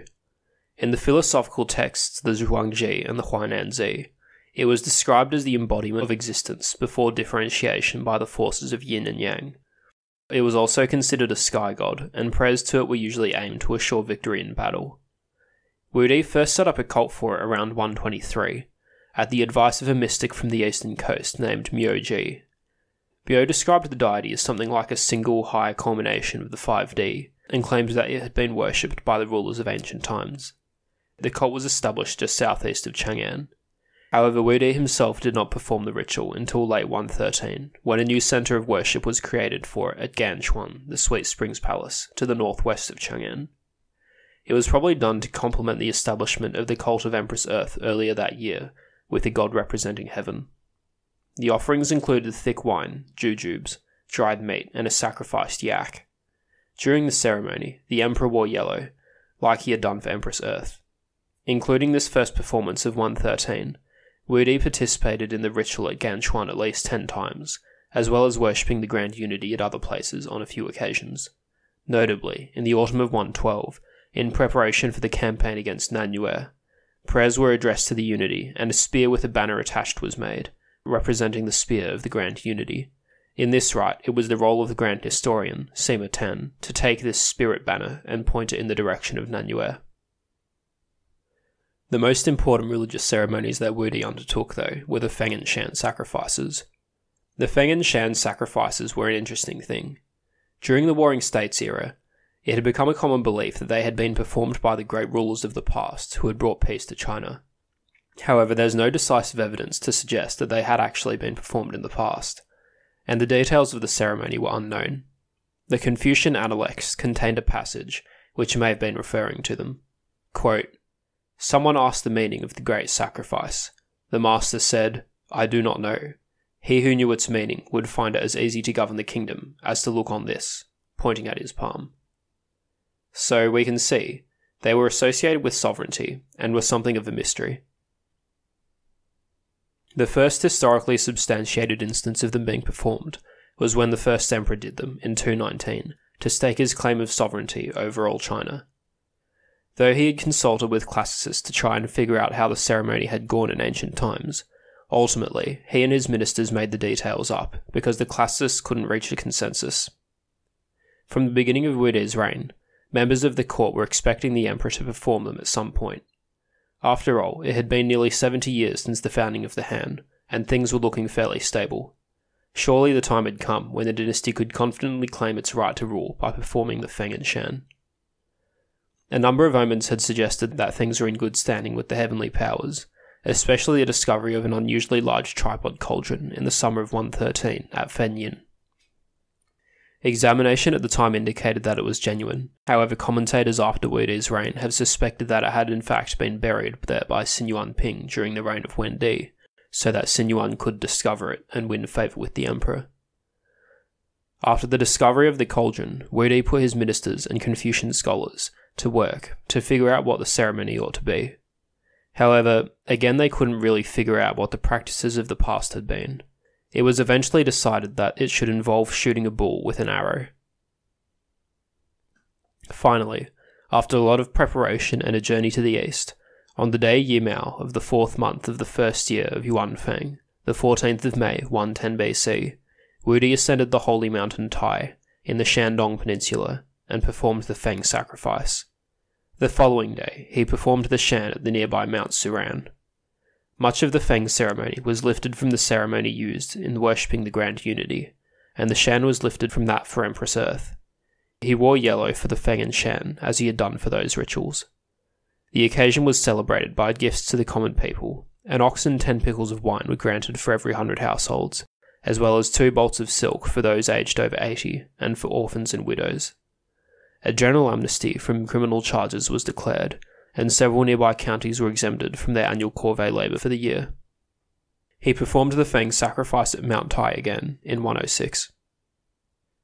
Along with the preparation for the Feng and Shan sacrifices, Wudi had put the scholars to work to plan for changing the calendar to recognise a new phase. The reform was finally effected in the summer of 104. A bunch of changes were made to acknowledge the new ascendant power, Earth. Yellow was taken to be the official colour, and the titles of all the officials were changed so that they contained five characters, because five was the corollary number. As we mentioned last episode, in Wu Di's reign, years began to be grouped together in year eras, which usually contained four or six years. The system was introduced now, in 104, with previous years of Wu Di's reign being retroactively grouped together and a new era being declared. The new era was named Tai Chu, meaning grand beginning. Now, if we recap how the Chinese calendar worked, there were 12 months in a standard year, named first month, second month, etc. The first three months were for spring, the next three for summer, and so on. However, the date taken for the official new year could be changed. Since the Qin dynasty, the new year had started with the 10th month, the first month of winter, because winter was the season that correlated with the power of water. With Wu Di's calendar reform, the new year was now taken to begin at the first month, the beginning of spring. Now, you might have been wondering if there were five elemental powers and only four seasons, then there must be one power that was the odd one out and didn't have a season. And in fact, this seasonless power was Earth, the one that had been chosen as the new phase. However, it was linked to something called the intercalary month, which was like a leap month that was counted every second year to keep the calendar in line with the seasons. Of course, you couldn't count a new year from a month that only appeared every second year, so that's why the first one, even though it wasn't a correlate, was chosen. There were also other reforms to the calendar to make it more accurate, but we needn't go into that sort of detail. What's important for us is the symbolic and political message. According to historian Michael Loewe, the reform of the calendar and the other symbolic changes, quote, displayed the dynasty's conscious faith in its own strength and authority. Now, something that's interesting about the imperial cults in the early Western Han period is that the important religious sites were scattered throughout the empire, but Chang'an proper was not home to any of the regular major cults. Ganquan, where the cult for the Grand Unity was established, was northwest of Chang'an, within eyesight. However, Yong, where the sacrifice for the five Di was carried out, and Fenyin, where the cult of Empress Earth were, was, were both more than a 100 kilometers away. Mount Tai, where the Feng sacrifice was performed, was all the way on the other side of the country, about 900 kilometers away. Because of these places and various other holy sites being scattered about, whenever Wu Di was going to perform a religious ritual, it usually involved travelling at least some distance. The religious tours ended up serving political and even military purposes as well. In 109, a year after Wu Di first performed the Feng at Mount Tai, he ordered the construction of something called the Ming Tang, which is usually translated as bright hole or devotional hole, to be built at the mountain. This was a sort of building supposedly used in ancient times by rulers for worshipping heaven. The Confucians had a plan for a bright hole which supposedly imitated the structure used by the early Zhou dynasty. However, Wu Di's bright hole at Mount Tai ended up being modelled on a design which was thought to have been used by the legendary Yellow Emperor. He used it for some religious ceremonies, worshipping the five Di and the Grand Unity. However, it was also used for secular purposes. Wu Di sometimes held his court there, and received the annual reports from the vassal kings and governors of commanderies. As for Yong, where the regular sacrifice to the five Di was held, to the west of that lay the ruins of an old Qin palace called Huizhong, or Returning to the Centre. It had been destroyed by the Xiongnu in the invasion of 167 during Wendi's reign. It had held strategic importance as a palace that lay beyond the western end of the Great Wall, and as such was often in the path of the Xiongnu invasions from the west. Wu Di often travelled there after performing the sacrifices at Yong and had it rebuilt in 107. His visits involved inspections of the defences in the area, or of the various missions and campaigns that were going to the western regions. Aside from these specific spots, Wu Di would visit holy mountains and rivers, partly to perform religious ceremonies, but also to inspect the state of government in those areas. In fact, on one occasion, holy sites were used as a justification for the expansion of imperial power. In 122 BC, the king of Jibei voluntarily offered the emperor a portion of his territory which contained Mount Tai, because the king anticipated that Wudi would perform the Feng and Shan sacrifices there at some point. In 114, the kingdom of Changshan was abolished, partly because of the king's bad behaviour, but also to put another holy mountain, Heng, under direct imperial control. Aside from these political purposes, though, there was a more personal reason behind Wu Di's interest in religious practices his desire for immortality. Like the first emperor of Qin, he was always on the lookout for things that might extend his lifespan. Men came to his court with promises that they knew a path to eternal life, especially so called magicians from the East Coast, and some of these paths involve religious practices. Around 133 BC, a man named Li Xiaojun, who claimed to have achieved the secret of long life, advised Wu Di that he could meet spirits who could instruct him on how to become immortal if he undertook certain tasks, including performing the Feng and Shan sacrifices and visiting the legendary island of Penglai, which was supposed to lie to the east of the Shandong Peninsula and be home to immortals. When Li Xiaojun died of illness, the emperor believed that he had actually transformed himself into a spirit. The word spread that the emperor was in the market for magicians, and some of those who answered the call may have been the initiators behind some of the cults the emperor set up. One of them, a man named Miao Ji, first suggested worshipping the Grand Unity, and he was put in charge of the ceremonies when the first site was set up in the southeastern suburbs of Chang'an around 123 BC. Another, Gongsun Qing, gave Wu Di the idea that by performing the Feng sacrifice, he might be able to commune with the mythical Yellow Emperor and thereby learn the secrets of immortality. Many, many others suggested more minor things. Sima Qian gives a description of one of these men, which may serve as a general portrait for the sort of person we're talking about here. Quote, Luan Da was tall and handsome and full of magical schemes and stratagems. He did not hesitate to come out with the most grandiose pronouncements, and never betrayed any sign that he doubted the truth of what he was saying. Coming to the Emperor with these sorts of magic tricks and promises of long life could be very rewarding, but also very risky.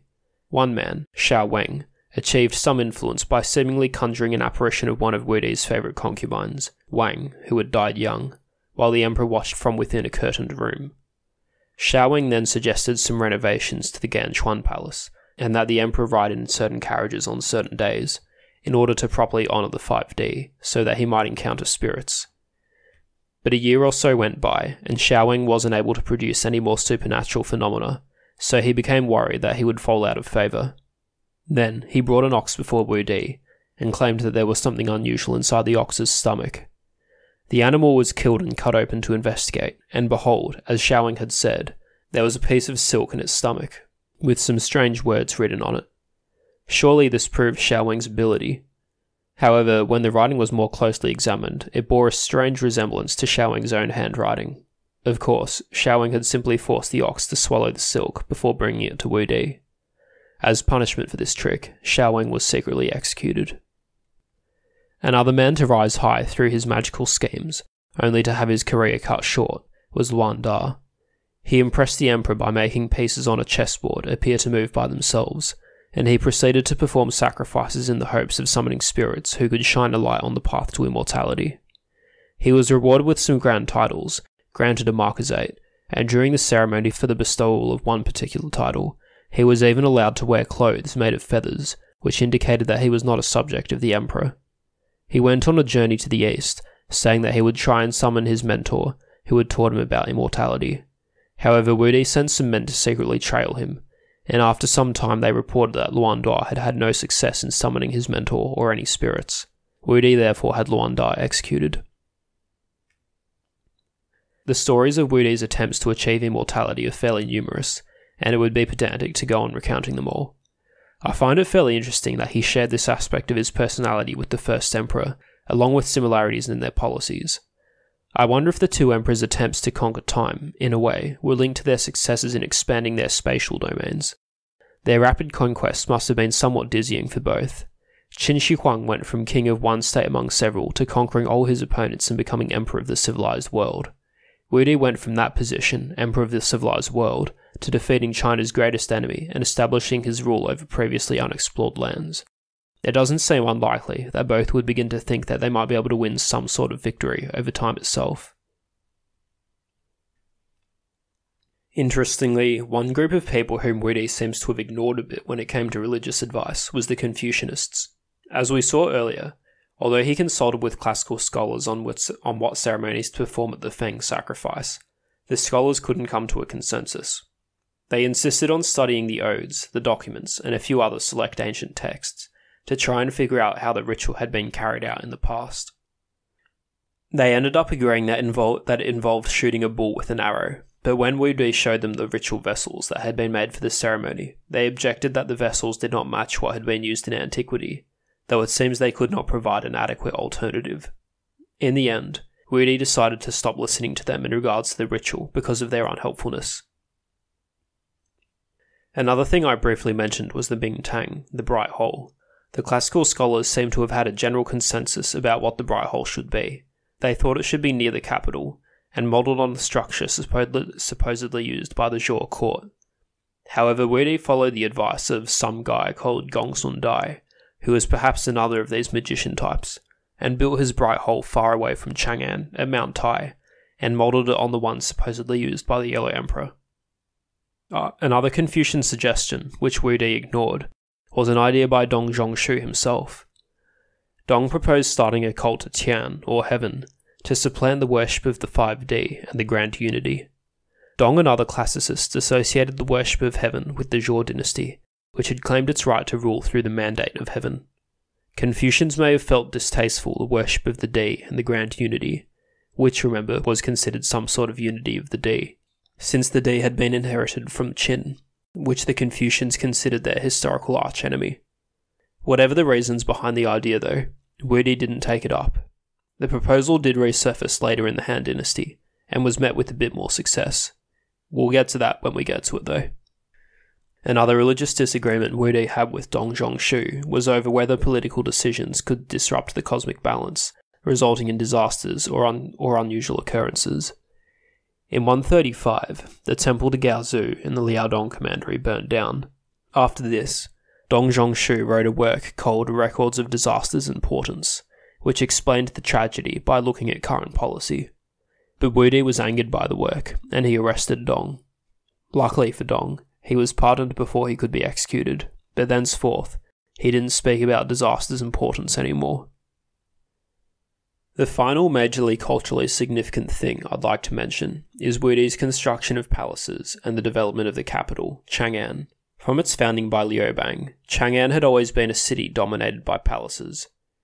Gaozu had built the Changle Palace on top of an old Qin palace, and west of that built the Wei Yang, located on top of a terraced hill, the most prominent feature in the skyline and a display of the dynasty's grandeur. Both of these palace complexes were walled, as were most of the later additions to the city, including markets and residential wards. These walls were generally made of tamped earth, some and some were as tall as seven metres, making for a guarded, claustrophobic city of walls within walls. Between the Weiyang and Changle palaces lay the arsenal, which consisted of several warehouses containing a huge number of neatly organised weapons and arms, both of practical use in case an army needed to be mobilised around the capital, and a visual signifier of military strength. North of these two palaces and the arsenal was another palace, suitably enough called the Bei or Northern Palace. A market developed north of the Bei Palace, as the north of the city was, pla- was best placed to access the Wei River, the key transport artery for the Guanzhong Basin. Huidi made a few important additions to the capital, including an external wall, roughly square in shape and more than 25 kilometres long, about 12 metres high and between 12 and 16 metres thick, and with a moat dug around the outside as well.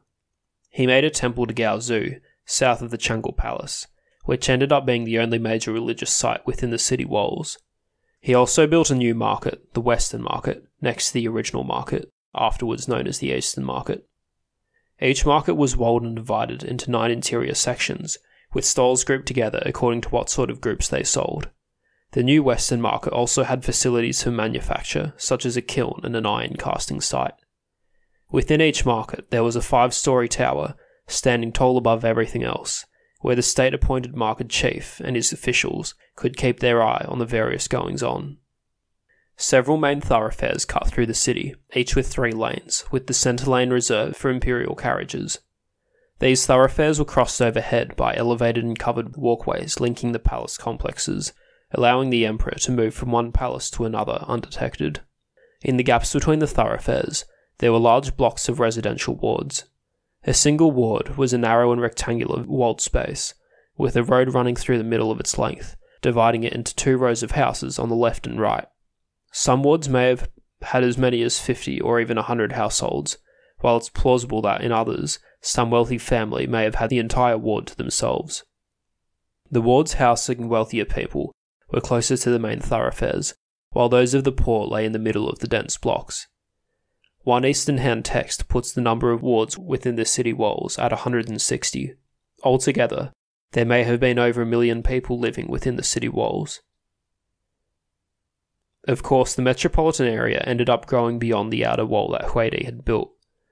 The area administered by as the Chang'an County consisted of just the walled city and the suburbs immediately surrounding it. A total of 57 counties fell under the administration of the Metropolitan Superintendent, who was a member of the central government, though in effect his duties were that of the governor of a commandery.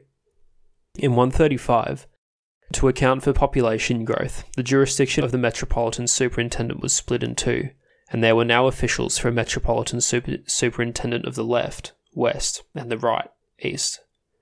In 104, the Western Capital Region was further divided, and a third office called Governor of the Capital was created. Within these divisions, there were some other particularly notable counties, namely those that contained the funerary mounds of past emperors, which were mostly on the northern side of the Wei River, opposite Chang'an proper. During Wu Wudi's reign, there were four of these sites. Gaozu and Empress Lü were buried at Changling, Huidi at Anling, Jingdi at Yangling, and, the odd one out, Wendi at Baling, which was east of the city, and on the other side of the Ba River. These burial sites weren't silent places of reflection either. They were towns of themselves, with whole populations employed in maintaining the mausoleum and performing rites for the deceased ruler. Toward the end of the dynasty, some of these towns may have been home to even more people than Chang'an itself.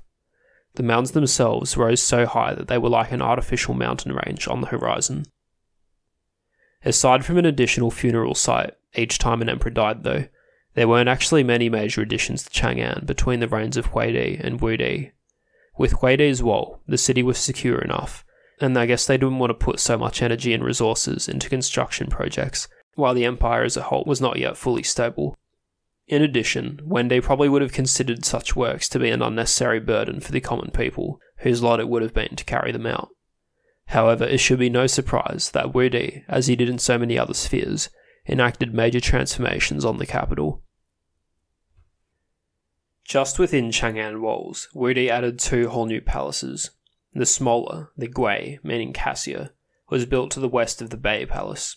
The larger, the Mingguang, or Brilliant, was built in 102 and took up an immense space north of the Changle Palace. The construction of these two palaces took up a lot of space and would have pushed many people out into the exterior suburbs. Some estimates say that after this point, just a third of the land within the city walls was available for residential wards. Eventually, the different palaces within the city became the living quarters of different members of the imperial family. The Weiyang served as the main residence of the emperor and was the main centre for government work. The Mingguang and the Changle were predominantly for the Empress Dowager, with the latter also being a political hub. The Bei was for the heir apparent, and the Gui for imperial consorts. Despite the new palaces he built in the city, Wudi actually spent much of his time outside of the capital, visiting and hosting his court at several places across the empire, especially the Ganquan Palace, where the sacrifice to the Grand Unity was held. His most impressive project lay just beyond Chang'an's walls, southwest of the city, this project was the renovation of the Shanglin Park and the construction of the massive Jianzhang Palace within the park. If you remember, the Shanglin had been a hunting ground of the Qin dynasty, and the first emperor had built his own massive palace there and filled the park with all sorts of exotic things. Shanglin had been neglected since the fall of the Qin, but Wudi determined to renovate it and bring it to an entirely new level of glory. The park was filled with statues representing stars in the heavens and with plants and animals from the furthest reaches of his empire. A huge artificial lake was dug out, which could host mock naval battles. The description of the park forms a lengthy section of Sima Xiangru's poem, which he wrote for the emperor. While, as we saw before, the poem goes into the realms of fantasy to communicate just how wondrous the park was, even the more believable parts sound amazing. I'll recite just one part of it. Quote, Gazing upon the expanse of the park, at the abundance and variety of its creatures, one's eyes are dizzied and enraptured by the boundless horizons, the borderless vistas. The sun rises from the eastern ponds and sets among the slopes of the west.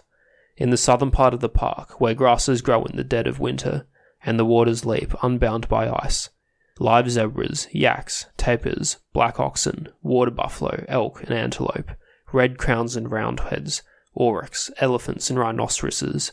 In the north, where in the midst of summer the ground is cracked and blotched with ice, and one may walk the frozen streams or wade rivulets, roam unicorns and boars, wild asses and camels, onagers and mares, swift stallions, donkeys and mules. Here the country palaces and imperial retreats cover the hills and span the valleys, verandas surrounding their four sides, with storied chambers and winding porticos, painted rafters and jade-studded corbels, interlacing paths for the royal palanquin, and arcaded walks stretching such distances that their length cannot be traversed in a single day. Here the peaks have been levelled for mountain holes, terraces raised, story upon story, and chambers built in the deep grottos. Peering down into the caves, one cannot spy their end. Gazing up at the rafters, one seems to see them brush the heavens. As you can see from the description of different extremes of, of, different extreme climates of the north and south, with their respective wildlife, the park was in some way meant to be a microcosm of Wudi's vast domain. I mentioned last episode that Wudi was inspired to build the Jianzhang after a tower in the Shanglin Park called the Boliang Terrace burned down in 104. Apparently, a man named Yongzhi from Yue informed the emperor that it was the custom of his people to replace burnt buildings with grander ones. I'm sure this bigger is better attitude appealed to a man like Wu Di, so he began construction of the Jianzhang Palace, that is, palace for establishing statutes, in the Shanglin Park, in the corner that was closest to Chang'an, but still on the opposite side of the Jue River. This is the description we get of it in the records. Quote, it had countless numbers of gates and doors, and the front hall was larger than that of the Eternal Palace, Weiyang Palace. On the east side was the Phoenix Tower, measuring over 20 zhang in height, about 46 metres. On the west were the walks, with a garden measuring about 20 or 30 li, in which tigers were kept, 8 or 12 kilometres. North of the palace was built a large lake called the Great Fluid, with a terrace of lapping water rising over 20 zhang from it. In the middle of the lake were Penglai, Fangzhang, Yingzhou, and Huilang or and Huiliang, islands built to represent the spirit isles of the sea, or such things as turtles and fish. On the south were the jeweled hole, the jade gate, the great bird, and similar constructions, as well as the terrace of the spirits and the railing tower, measuring 50 zhang, 115 metres, all connected by walks for the imperial palanquin. There was also an elevated walkway built, which spanned all the way from the Jianzhang Palace, over the river, over the walls of Chang'an, to the Weiyang Palace. Those islands built in the lake, the Penglai and the others, were imitations of the legendary islands on the eastern coast, which were supposed to be inhabited by immortals. It was simultaneously a hugely self indulgent endeavour, allowing Di to live in absurdly extreme luxury and dream of expanding his lifespan, as well as an awesome display of imperial glory, showing off the vastness of the empire and communicating in architecture the emperor's connection to the cosmos. Di ended up spending much of his time during the later part of his reign at Shanglin Park, and it became the centre of much of the work of government, so that it ended up rivaling the capital itself for how important it was politically.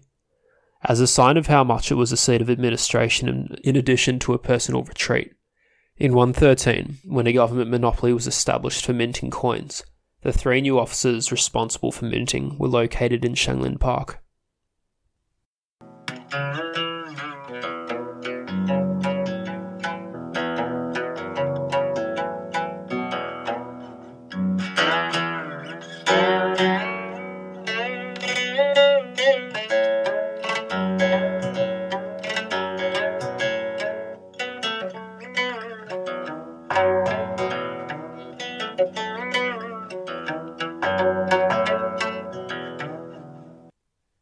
And this leads us, neatly enough, to a discussion of economic policy under Wu Di.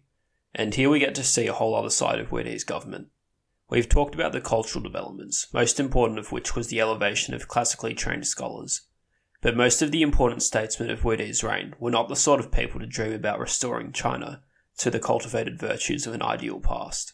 They were practical men who were focused on streamlining the instruments of government to best serve the empire's needs. The main economic question facing statesmen during Wudi's reign was how to finance all those military campaigns we were talking about last episode, as well as other costly projects, like all those palaces, roads to newly conquered territories, and repair projects to the banks of the Yellow River after major floods. Remember the rich and happy empire that Wudi inherited? Well, according to Sima, by 124, when the fourth expedition into Xiongnu territory was launched, the Ministry of Agriculture was broke. Of course, both the prosperity at the beginning of Wudi's reign and the deprivation of the Ministry of Agriculture in 124 could be exaggerated, but even so, it suggests that these campaigns and other projects were taking their toll on the state coffers. Another secondary problem which often came up in economic discussions was the rise of wealthy merchants. There were a few concerns about wealthy merchants, which mostly stemmed from the fact that they formed an elite that was outside the official state hierarchy.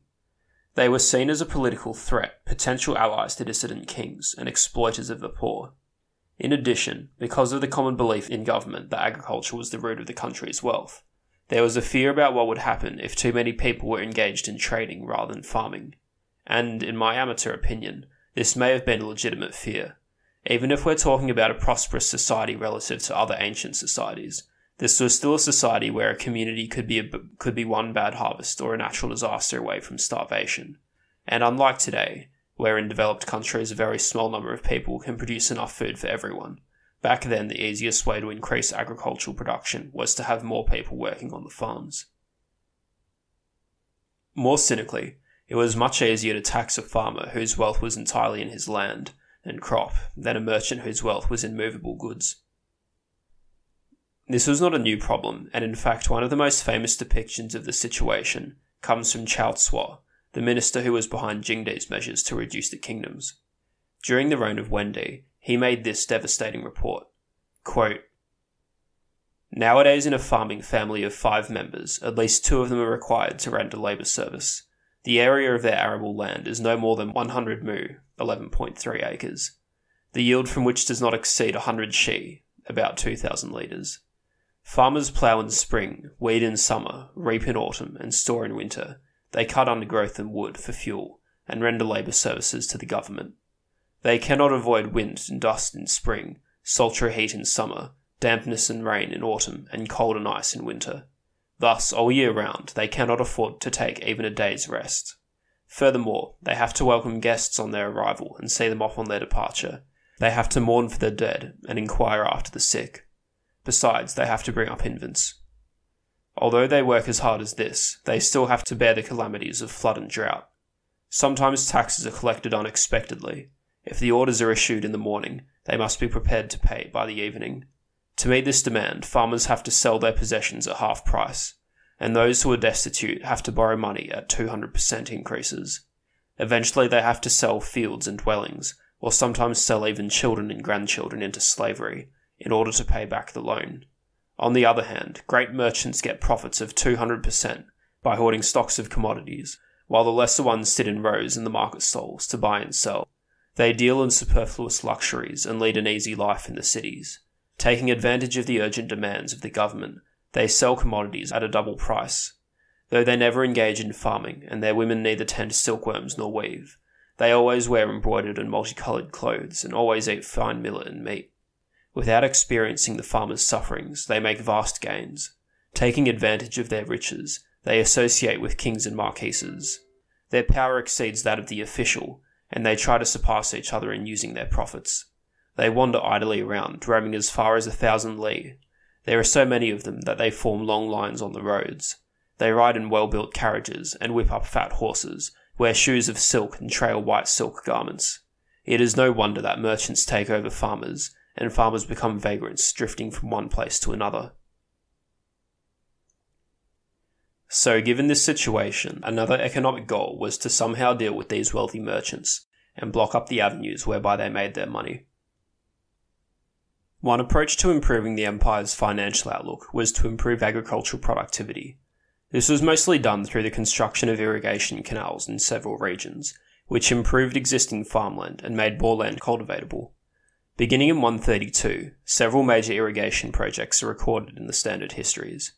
Historian Junshu Zhang estimates that in total, between 230 and 340,000 men worked on the projects, and the new canals would have watered 1.25 million acres of land. This newly irrigated land alone could have produced as much as 1.8 billion litres of grain annually, an enormous increase if that's what happened. The upfront cost of these projects was high, and sometimes they didn't even work out. Construction of a canal system in the Hedong Commandery had to be abandoned after the Yellow River changed its course, rendering the new canals ineffective. However, when they worked, it clearly paid back enormous dividends to invest in them. Canals were also built to connect different rivers and shorten transportation routes from the Guanzhong region to Chang'an, meaning that the cost of transporting grain from the eastern side of the country to the capital was reduced. Another innovation which increased agricultural productivity was a new method of sowing fields called the alternating field system. It involved digging furrows to bury seeds and filling them in, which meant the seeds were planted deeper and were more protected from wind and drought. It utilised the new ox drawn plough, which meant that more land could be ploughed with the same amount of human labour. This method was attributed to a man named Zhao Guo, the grain intendant, though historian Nishijima Sadao says it was most likely the idea of another man called Sang Hongyang, a statesman who we'll meet in a little bit. Cool as this method was, though, it was not developed until the last years of Wudi's reign, so it didn't play a huge role in funding his campaigns. Aside from increasing productivity, several more measures were taken to raise funds in the short term. One method was allowing the sales of ranks of honour. I haven't talked about these ranks too much, but I gave them a brief rundown in the episode on Gaodi. Under the Han, there were 20 of these ranks, which conferred social status and some material privileges. Each progressively higher rank entitled the holder to better privileges. The first eight places in the hierarchy could be achieved when the emperor bestowed general increases of rank, which could apply to a local population, or even to every head of household in the empire. Such bestowals were often made to celebrate such things as the accession of a new emperor, the nomination of an empress, or as a sort of relief following a natural disaster. These sorts of general proclamations, though, could not raise one beyond the position of eighth rank. The ninth rank on upwards was only were only granted on an individual basis. In the past, there had been some instances where it had been possible to purchase some of the lower ranks of the system. In order to raise funds, Wudi put more ranks on the market, including the ninth and tenth ranks, which previously had only been available as a special award, rather than through general bestowals. He also widened the scope of ranks which were considered high. Under Gaodi, all the ranks from the 7th and above had been considered high, entitling the holder to exemptions from the poll tax, military and labour service, and even entitling them to the income of a particular estate. Under later rulers, though, the category of high rank had been restricted as part of the efforts to centralise power. Higher ranks carried some sort of political rights, such as giving someone the opportunity to work in government. Huidi had restricted the high ranks to the ninth and above, as had been the case in Qin, and under Wendi or Jingdi, this had been increased to the tenth and above. However, Wudi brought the high ranks back down to the ninth and later to the eighth. This was probably to make the ranks that were for sale more desirable. In addition, in 123, a whole new ranking system was introduced alongside the old system. These were called ranks of military merit, and as the name suggests, they were ostensibly created to reward military achievement. However, the real purpose was to raise funds. Every position in the 11 rank scale was available for purchase.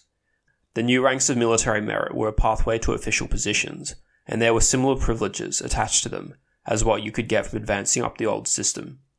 This ended up causing some problems in the long run, as so many people bought ranks which exempted them from labour or military service that the government started to run short on the free labour it was usually entitled to call upon. In some instances, excuses were cooked up to punish people en masse, and they were forced to work on some project or other. In addition to this more formal system of buying social rank, there were a few occasions where Wudi simply opened up certain lowish level official positions for sale. One interesting instance of this was when a number of arrests were made during a gambling ring busting operation. Those arrested could buy a pardon if they had the cash, and could even get a job as a palace attendant. Around 120 BC, a group of statesmen were enlisted by Wu Di to come up with some innovative policies to help raise funds for his military campaigns. The most important of these was Sang Hongyang. Sang was the son of a merchant, and from a young age he had displayed exceptional mathematical skills. Because of his abilities, he was made a palace attendant at the age of 12, in 140. Now in his early 30s, Sang was also joined by two men who had made their names in the iron and salt industries two of the most lucrative manufacturers in China. These were Dongguo Xianyang and Kong Jin. Although initially Sang acted as an assistant to, Kong, to Dongguo and Kong, he is often credited as the brains behind some of their ideas, and eventually he eclipsed them career wise. Sima Qian says of the trio, quote, When it came to a question of, make, of how to make a profit, the three of them knew their business down to the smallest detail. In 119, these men rolled out one of Han China's most famous economic policies, the salt and iron monopolies. This was like nationalising the iron and salt industries, which had so far been carried out mainly by private enterprise.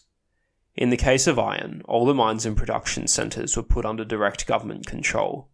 Labour was carried out by convicts, men serving their annual corvée, and sometimes state owned slaves. The iron monopoly wasn't responsible only for mining, but also for making iron products, especially agricultural equipment.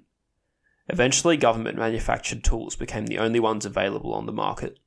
For salt production, the government hired private operators to carry out the extraction and then sold the produce itself. The main purpose of the move was, of course, so that the government could take in all the profit from the production of these two important resources. However, it also served the secondary purpose of cutting off an avenue whereby people could become very wealthy and powerful outside of the state hierarchy.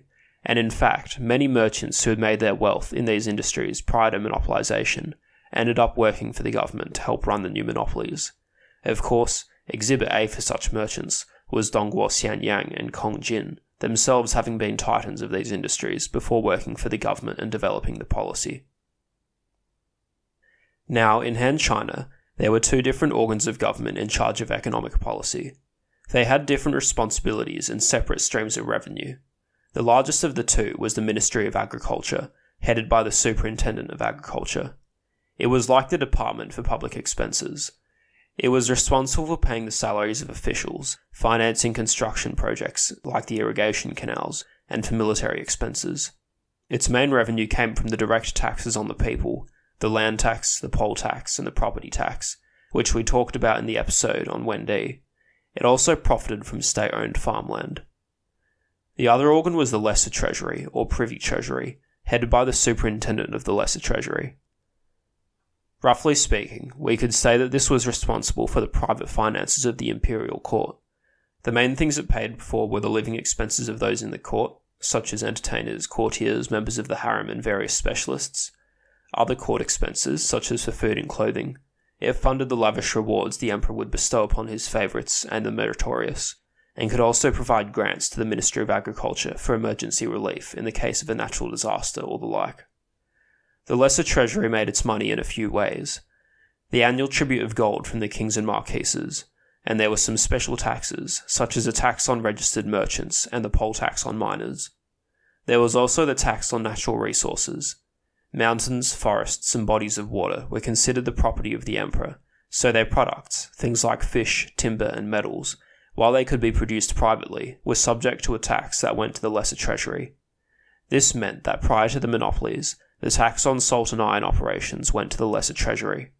However, since the purpose of creating the monopolies was to help finance the war effort, and military expenditure was the job of the Ministry of Agriculture, Wu Di made the salt and iron monopolies the responsibility of that ministry.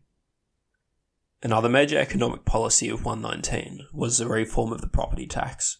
It was a raise specifically targeted at merchants, who were already taxed at higher rates than the average person through the poll tax and the merchant tax.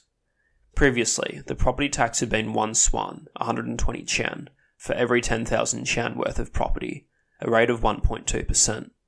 Now the property tax rate for merchants was raised to 6% and for manufacturers to 3%. Also, there was a new tax for vehicles, one suan for those owned by commoners and two suan for those owned by merchants. There was also a tax of one suan for boats over a certain length. The penalty for trying to avoid these taxes was to have your property confiscated. In addition, a law was made which forbade registered merchants from owning farmland. This was probably done to discourage farmers from taking up trading jobs on the side. In this year, in addition to the increases in the property tax, the poll tax on miners was increased from 20 qian to 23. The extra 3 qian went to the Ministry of Agriculture rather than the Lesser Treasury in order to pay for the war effort. The other big economic step of 119 was the introduction of a new coin, which was the last of several experiments with different sorts of currency. The drive for a new coin was part of the effort to combat illegal minting. Although private minting had been made a crime during the reign of Jingdi, there was still an awful lot of it going on, and it was devaluing the currency. One method which was used by forgers was to file or clip off the edges of coins and use the metal to create new ones. The new coin that was introduced in 119, called the Wu Shu, had raised edges, which meant that it couldn't be filed or clipped without detection, and made it harder to imitate. It ended up serving as the base coin for the rest of the Han Dynasty, though at various times other coins of higher denominations were used alongside it. The introduction of the Wu Shu coin wasn't the end of the matter, though. Minting was carried out by both the central government and by commandery governments. However, the commandery produced coins weren't quite up to scratch, and even with the raised rims, were susceptible to forgery. Thus, in 113, minting was made the sole prerogative of the three Shanglin officers based in Shanglin Park, which I mentioned earlier. These officers were under the direction of a new governmental position, the Superintendent of Waterways and Parks, which came to be a third department alongside the Ministry of Agriculture and the Lesser Treasury, responsible for state finances. The final move of 113 resulted in coins of such high and consistent quality that forgery became unprofitable for all but the most sophisticated criminals. By 115, Kong Jin had reached the office of Superintendent of Agriculture, and Sang Hongyang acted as his assistant. Together they effected an innovative new policy, establishing in the capital and various commanderies equal supply offices, which were to buy up local goods and transport them to the capital, where demand for those sorts of things was high, and sell them to private buyers. It was essentially a way to compete with merchants who did just that, with the hope of gaining a monopoly on the transporting goods to the capital business, so as to repress the merchants and channel profit to the government. The system ran into some problems though. The officials which were sent out to buy the local goods ended up competing with each other and raising prices. Also, the cost of transporting things to the capital was so bad that sometimes the process ended up being unprofitable. By 110, Kong Jin had faded out of the picture and Sang Hongyang had become superintendent of agriculture. He made some additions to the system which were designed to counteract these problems. He decentralized the process so that more equal supply offices were established in the provinces, and the officials from those offices would have a better chance of buying up local goods when they were cheap. These were then taken to the capital and hoarded in an office called the Price Stabilization Office, which would sell them when the prices were high. From what I understand, the new system, which was called the Balanced Standard, was a more strategic approach to undercutting merchants. When the Price Stabilization Office decided prices were high enough to start selling some particular product that it had stored up, it had the effect of lowering prices in the capital, which made private trading ventures less worthwhile. Not only did this benefit the consumer by lowering prices and avoiding sharp price rises, but it served the twin economic goals of channeling money to the government and repressing merchants. This covers most of the major economic policies of Wu Di's reign, though there are a few minor ones worth mentioning. New ways for encouraging direct payments to the government were implemented. If you had been sentenced for a crime, you could pay a ransom to escape punishment. For a more positive form of encouragement, peasants who made donations of grain to the imperial granaries were rewarded with special privileges, such as lifetime exemption from military service and a guaranteed amnesty protecting, the, protecting them from accusations that could result in the confiscation of their property. And in 98, an alcohol monopoly was established, which seems to have been made in the mould of the iron monopoly, with direct government control over both production and distribution. Altogether, the work of Sang Hongyang and the others seems to have been pretty successful. Not only were they able to support the military ventures, but they apparently returned China to some level of prosperity, Sima Qian concludes his narrative of the economic situation thusly quote, Areas that were in need were immediately supplied by shipments of grain from other provinces, and the various officials of the Ministry of Agriculture all drew grain from east of the mountains, so that the amount of transported to the capital increased to 6 million piculs annually. Within a year, the granary at Taitsang in the capital and at Sweet Springs, Ganquan, had been filled. The frontiers enjoyed a surplus of grain and other goods, and the transportation officers had 5 million rolls of silk. Though taxes on the people had not been increased, there was now more than enough to cover the expenditures of the empire. As for the secondary purpose of repressing merchants, it may not have been achieved to the same extent. The raised taxes and other laws discriminating against merchants did make the business less profitable. However, what ended up happening was that the wealthiest merchants bought huge tracts of land and took up the landlord career instead. Thus, the problem of powerful rich people outside of the state hierarchy persisted. This, however, was a problem for future emperors, and we'll get to it in later episodes. All these new economic policies were not without their critics. In Wudi's reign, there developed two sorts of political factions, which we call the modernists and the reformists. The modernists were the people like Sang Hongyang who were behind these sorts of interventionist economic programs, and for the majority of Wudi's reign, it was the modernist ideas that held sway in policy development. The reformist tide did not really come until after Wudi's rule. However, even within Wudi's lifetime, opposition was raised, and the chief critic was a man named Bu Shi. Some of the arguments he brought against the policies later became standard talking points for the reformist position. Bu Shi had a humble origin, working as a sort of hermit shepherd, taking care of his flock in the mountains of Henan Commandery on the Yellow River. He started out with a hundred sheep, which he had inherited from his parents, but he was good at what he did, and over time he increased his flock to a thousand, and bought a house and some land for himself. His younger brother was less successful, but Bu did the virtuous thing and gave him a share of his own wealth. Around the time that the campaigns against the Xiongnu were stepping up in frequency, Bu Shi decided to travel to the capital and patriotically offered half of his wealth to the cause. Astonished, Wudi dispatched an envoy to see what Bu was trying to get in return. Maybe he would like a government position as a reward. Bu humbly declined, though, saying that he only had experience raising animals and did not know how to govern. Perhaps then someone in Bu's family had suffered an injustice, and he was hoping the emperor might be able to intercede. Bu replied that this was not the case, and explained that he was well respected in his community. Quote, I have never in my life had a quarrel with anyone. If there are poor men in my village, I lend them what they need, and if there are men who do not behave properly, I guide and counsel them. Where I live, everyone does as I say. Why should I suffer any injustice from others? There is nothing I want to report. Wudi's envoy asked then what his motive was in making such a generous donation, and Bu's answer clues us into his worldview. Quote, the Son of Heaven has set out to punish the Xiongnu. In my humble opinion, every worthy man should be willing to fight to the death to defend the borders, and every person with wealth ought to contribute to the expense. If this were done, the Xiongnu could be wiped out. Bu Shi was all about self sacrifice for the good of the empire, and was an example that Wu Di was eager to promote. However, when the emperor put the question of whether to accept the donation to the chancellor, Gongsun Hong, Gongsun said, quote, The proposal is simply not in accord with human nature. Such eccentric people are of, of no use in guiding the populace, but only throw the laws into confusion. I beg you not to accept his offer. Gongsun himself was a notoriously wily and deceitful politician, which is perhaps why he was disparaging of Bu's altruism. Therefore, Wudi dilly dallied, and in the end did not accept Bu's donation. However, this did not discourage Bu from further acts of patriotism.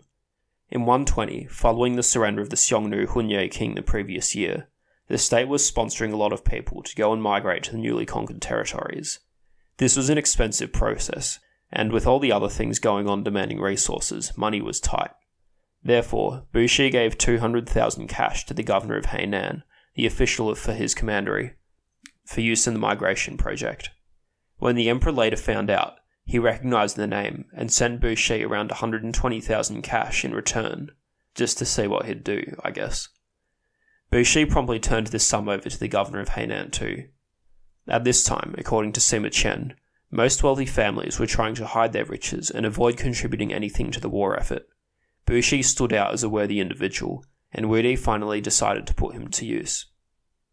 He made him a magistrate of a county called Guoxi, and when he proved a good leader there, he was put on the fast track. He received a more important magistrate job at Changgao County, and then was made senior tutor to the heir apparent of the Kingdom of Qi. He then became Chancellor of Qi. In 112, when the campaign against Nanyue was launched, Bu Shi volunteered to go and fight with his sons. Although the emperor didn't take him up on the offer, he rewarded his fervour with a marquisate.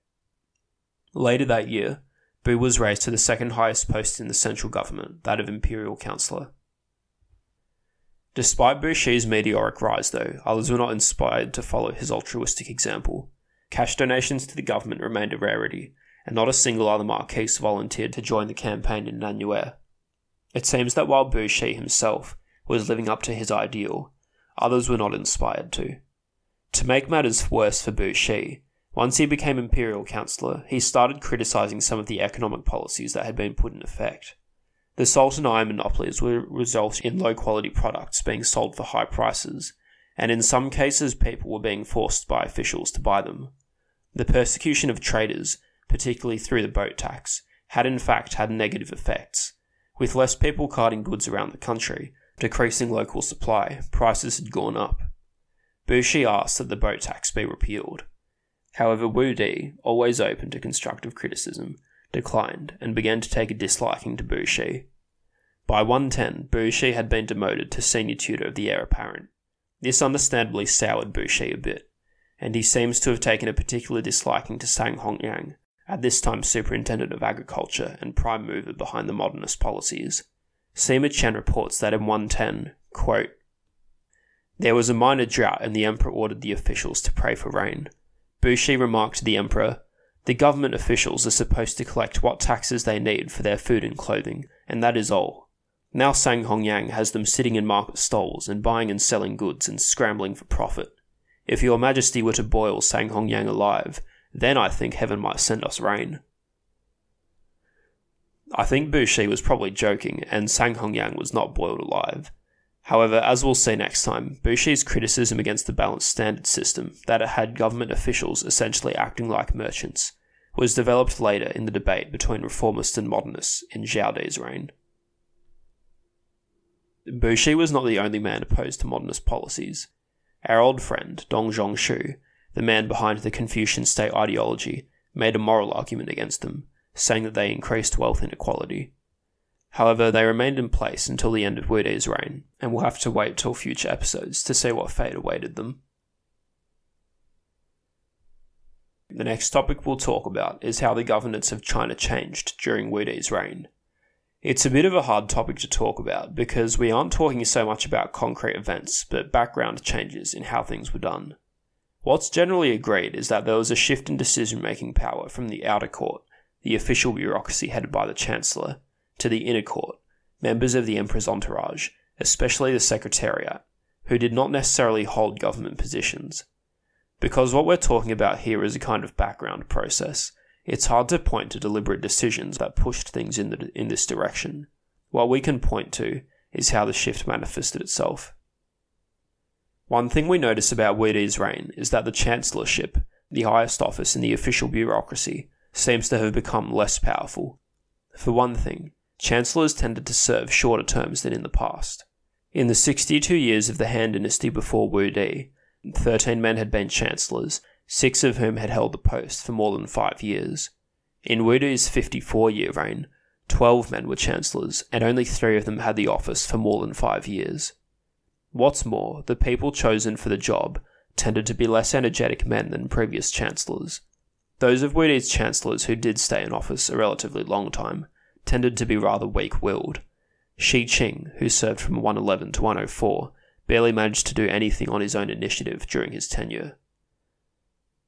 The shift from chancellors who had made significant contributions to the empire to ones who were more forgettable was nicely described by Sima Qian.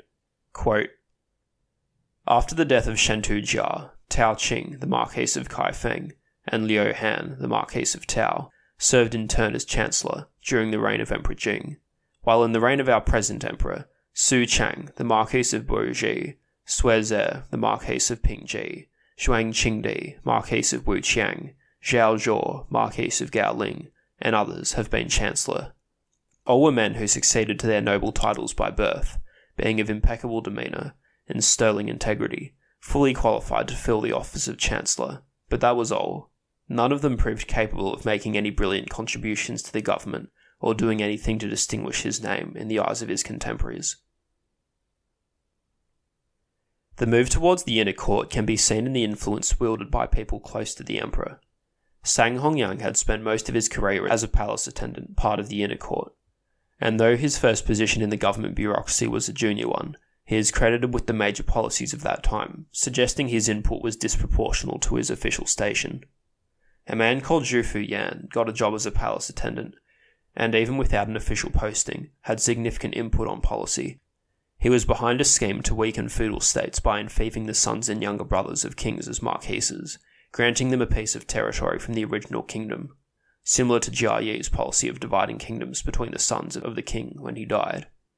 He was also responsible for another scheme of resettling, quote, wealthy and powerful families and troublemakers among the people at Maoling, Wudi's planned funerary town, in order to restrain and isolate potential evildoers without punishing them.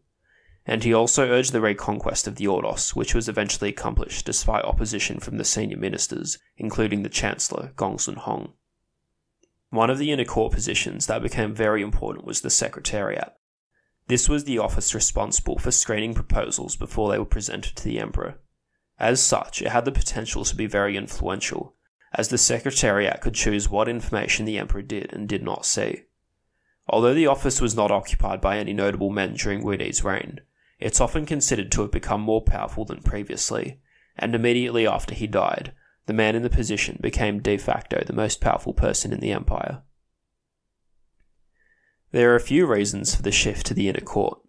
While the emperor was, from the beginning of the dynasty, an absolute monarch, there were conventions of the bureaucracy which limited the exercise of power a bit. The various officers of the three excellencies and nine ministers had defined responsibilities, which sort of implied that the emperor ought to consult with whoever held a particular office before making changes in that field of responsibility. The sort of men who ascended to the top positions had usually spent their careers within that system. It was an apparatus that, by its mere operation, hampered the emperor's ability to arbitrarily exercise power. Doing things through the inner court circumvented the time consuming nature of the official bureaucracy and gave an emperor more freedom to act.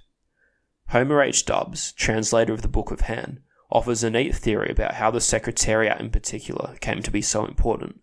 According to him, Wudi was a lot more actively involved in government than previous emperors, and as such, proposals and problems were submitted directly to him, rather than going through the Chancellor or Imperial Councillor first, as had been the usual practice but since documents to the Emperor went through the Secretariat, Wudi's personal activism had the effect of empowering that office. It's a neat explanation, though I'm not sure it's completely satisfactory.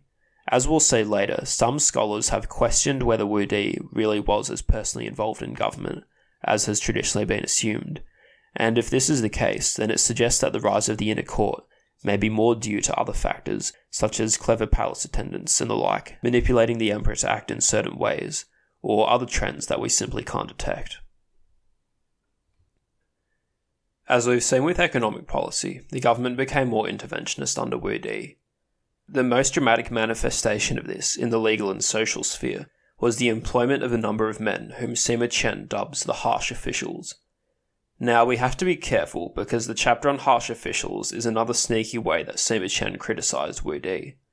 The chapter is juxtaposed with a collection of biographies of reasonable officials, all of whom lived in the pre imperial era, which seems like it was intended to make Wu Di's harsh officials look that much worse. It's not clear whether Wu Di went out of his way to employ men who had a reputation for severity, Nevertheless, it's enough of a trend that historians have felt comfortable talking about the harsh officials as a feature of Wudi's reign. The men whom Sima places under this category form a bit of an amorphous group. Some were honest, dutifully doing their job and strictly following the law, while others were corrupt, bending the law to suit their own purposes. The common thing tying them together was their severe application of the law and their ruthless punishments.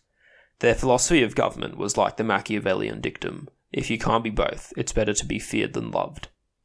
They were basically the inheritors of the legalist spirit, or at least the inheritors of the worst aspects of the Han stereotype of the legalist spirit. Sima Qian paints a familiar narrative in his introduction to his chapter on the harsh officials.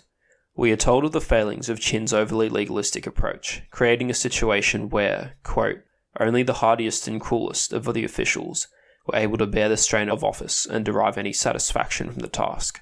Those who cared for justice and virtue were left to rot in insignificant posts. Then, when the hand came to power, they softened things out. Quote, the law officials were honest and simple hearted and did not indulge in evil, and the common people were orderly and content. So we see that good government depends upon virtue, not harshness. However, as the dynasty matured, so called harsh officials began to appear, a callback to the Qin style of government. During the reign of Empress Lü, there had been one named Huo Feng, who persecuted members of the Liu clan. Under Jing Di, there was Chao Cuo, who we've talked about extensively, and Ji Du and Ning Cheng, who achieved notoriety during their tenure as, respectively, governor and commandant of the commandery Jinan. There, they repressed a wealthy clan, known for its, quote, power and lawlessness, by executing several of its members and thus giving it a healthy dose of fear. Wu Di's reign saw a large rise in the number of harsh officials, of the 15 men who are biographed in the Harsh Officials chapter in the records, and the equivalent chapter in the Book of Han, 10 had their careers during the reign of Wu Di. Even so, the 10 individuals would seem like a fairly insignificant number if we consider the vast size of the Han bureaucracy. However, Sima mentions a number of times that the methods of these harsh officials were imitated by many others hoping to advance their career. So, maybe we can say with some caution that they were characteristic of the era. I'm only going to talk about one of these harsh officials in detail, Zhang Tang, who left some important legal legacies and was in charge of trying some of the more important scandals of Wu Di's reign. But before doing that, I'd like to relate a few select episodes from the careers of some of the other harsh officials, so as to paint a picture of what sort of governance style we're looking at here. The main characteristic of the harsh officials was their brutal application of the law. They were fond of mass executions as a way of intimidating their subjects into behaving properly. Yi Zong received a posting as governor of Dingxiang Commandery, and when he arrived there, he made a surprise visit to a jail. He seized 200 of the prisoners and a similar number of their friends or family who had illegally snuck in to visit them. He accused the visitors of plotting to free the prisoners, and all 200 prisoners and their guests, about 400 people in total, were executed in a single day. Sima adds to his account an emotional touch, saying that after the execution, quote, though the season was warm enough, the entire province shivered and trembled. Another horror story is that of Wang Wenshu's time as governor of Henei. There, he arrested a large number of powerful mobsters and bandits and had them quickly tried and investigated. About a thousand families were implicated as a result, and he executed a lot of them so that, quote, blood flowed for miles around. Something that was apparently especially shocking to the people of Henei was the speed with which he received imperial approval for the executions. He had set up a relay system of privately owned horses so that he could send messengers quickly to Chang'an. Executions are not meant to be performed in spring, and apparently when the spring of Wang's first year in Henei began, he, quote, stamped his foot and sighed, Ah, if only I could make the winter last one more month, I could finish my work to satisfaction. Here we can maybe derive that Wu Di was actively looking to promote Wang's style of dealing with criminals, for after the emperor heard of Wang's remarks, Wang was promoted to metropolitan superintendent. But the joy that Wang Wenshu apparently derived from his grisly work was not standard. Despite their brutality, the harsh officials were not all bloodthirsty psychos. Some governed with the ethos of stern but fair. Yi Zong, the man who later executed 200 prisoners and their guests, won admiration for his impartial governance during his time as magistrate of Changling, Gaozu's funerary town, and as magistrate of Chang'an. According to Sima, quote, he applied the laws with honesty and directness and made no exception even for the emperor's in laws. As magistrate, Yizong arrested and tried the emperor's niece's son, a man named Zhong. If you remember, in the episodes on Qin, we talked about how family ethics and legal impartiality often conflicted when it came to punishing members of a royal family. It always took a bit of courage for an administrator to punish someone who was connected to the imperial family, lest that administrator end up with some powerful enemies. Luckily for Yi Zong, Wu Di took the trial of Zhong as a sign of Yi's ability, and promoted Yi to commander of Henei. Another of the harsh officials famous for his diligence towards the job and severe but fair approach was Jian Xuan. Sima Qian describes his approach as left metropolitan superintendent. Quote, he attended to every detail in the area under his jurisdiction, down to the very grain and salt consumed. All matters, great and small, passed through his hands.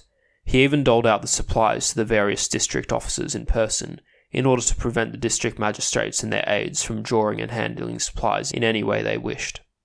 He maintained order by applying the law with the utmost severity, and during his several years in office, every affair in the province, down to the most trifling, was perfectly arranged.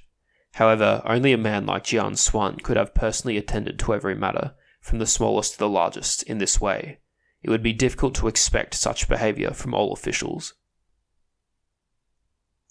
The impartiality of Yi Zong and the dutifulness of Jian Xuan were not par for the course, though. Some of the cruel officials perverted the law to serve their own ends. Du Zhou, who had a stint as superintendent of trials, toadied to the emperor by delivering the verdicts that he thought Wudi wanted.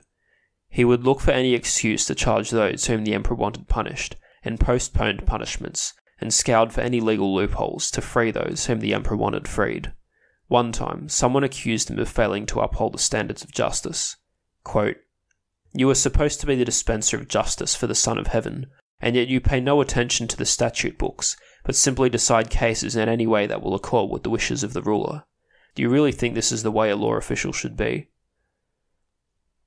To this, Du had an interesting response, and honestly, one that's kind of hard to argue against given the nature of the Chinese system, where the emperor was the ultimate legal authority. Quote, and where, may I ask, did the statute books come from in the first place? Whatever the earlier rulers thought was right, they wrote down in the books and made into laws, and whatever the later rulers thought was right, they added as new clauses and stipulations. Anything that suits the present age is right. Why bother with the laws of former times? But not every harsh official could use this twisted argument, because sometimes their toadying wasn't even towards the emperor. Wang Wenshu was metropolitan superintendent for a bit, and used the carrot and stick approach to ingratiate himself with the powerful crime families of the capital region. The carrot was to ignore their wrongdoings, the stick was to ruthlessly persecute and punish small time criminals, a show of power to intimidate his new friends. Thus, he was brutal towards petty criminals and friendly with the larger ones.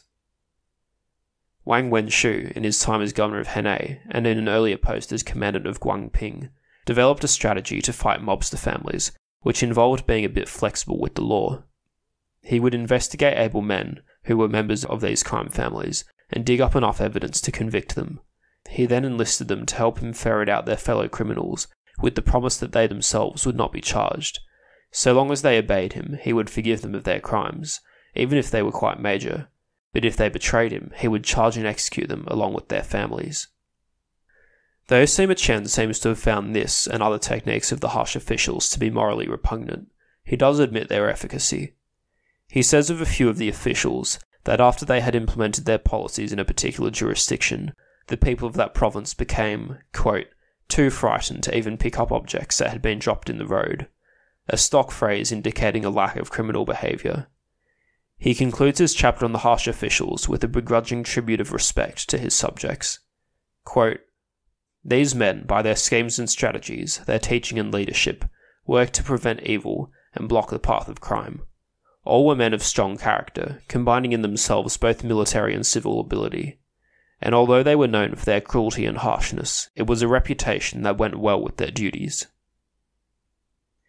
But he goes on to mention some others who followed their examples, whom we are not told much about, and he leaves us with the possibly overblown impression that the average governance style in this period was not so much the severe but effective autocracy of the biographed harsh officials, but more the cruel and depraved tyranny approach. Quote, that when it comes to men like Feng Dang, the governor of Shu, who violently oppressed the people, Li Zhen of Guanghan, who tore people limb from limb for his own pleasure, Mi Pu of Dong province, who sawed people's heads off, Luo Bi of Tianshui, who bludgeoned people into making confessions, Chu Guang of Hedong, who executed people indiscriminately, Wu Ji of the capital, and Yin Zhou of Fengyi, who ruled like vipers and hawks, or Yan Feng of Shuiheng, who beat people to death unless they bribed him for their release. Why bother to describe them all of them? why bother to describe all of them? Again, this may be Sima trying to paint us an overly dour view of Wu Di's reign. Remember, this was a man who had himself been persecuted for fairly arbitrary reasons, but at the least, it sounds like there were some of Di's officials whom you would have been very unlucky to have as your local warden. So that's a general group portrait of the harsh officials. Now we'll get into detail on the most important of them, Zhang Tang.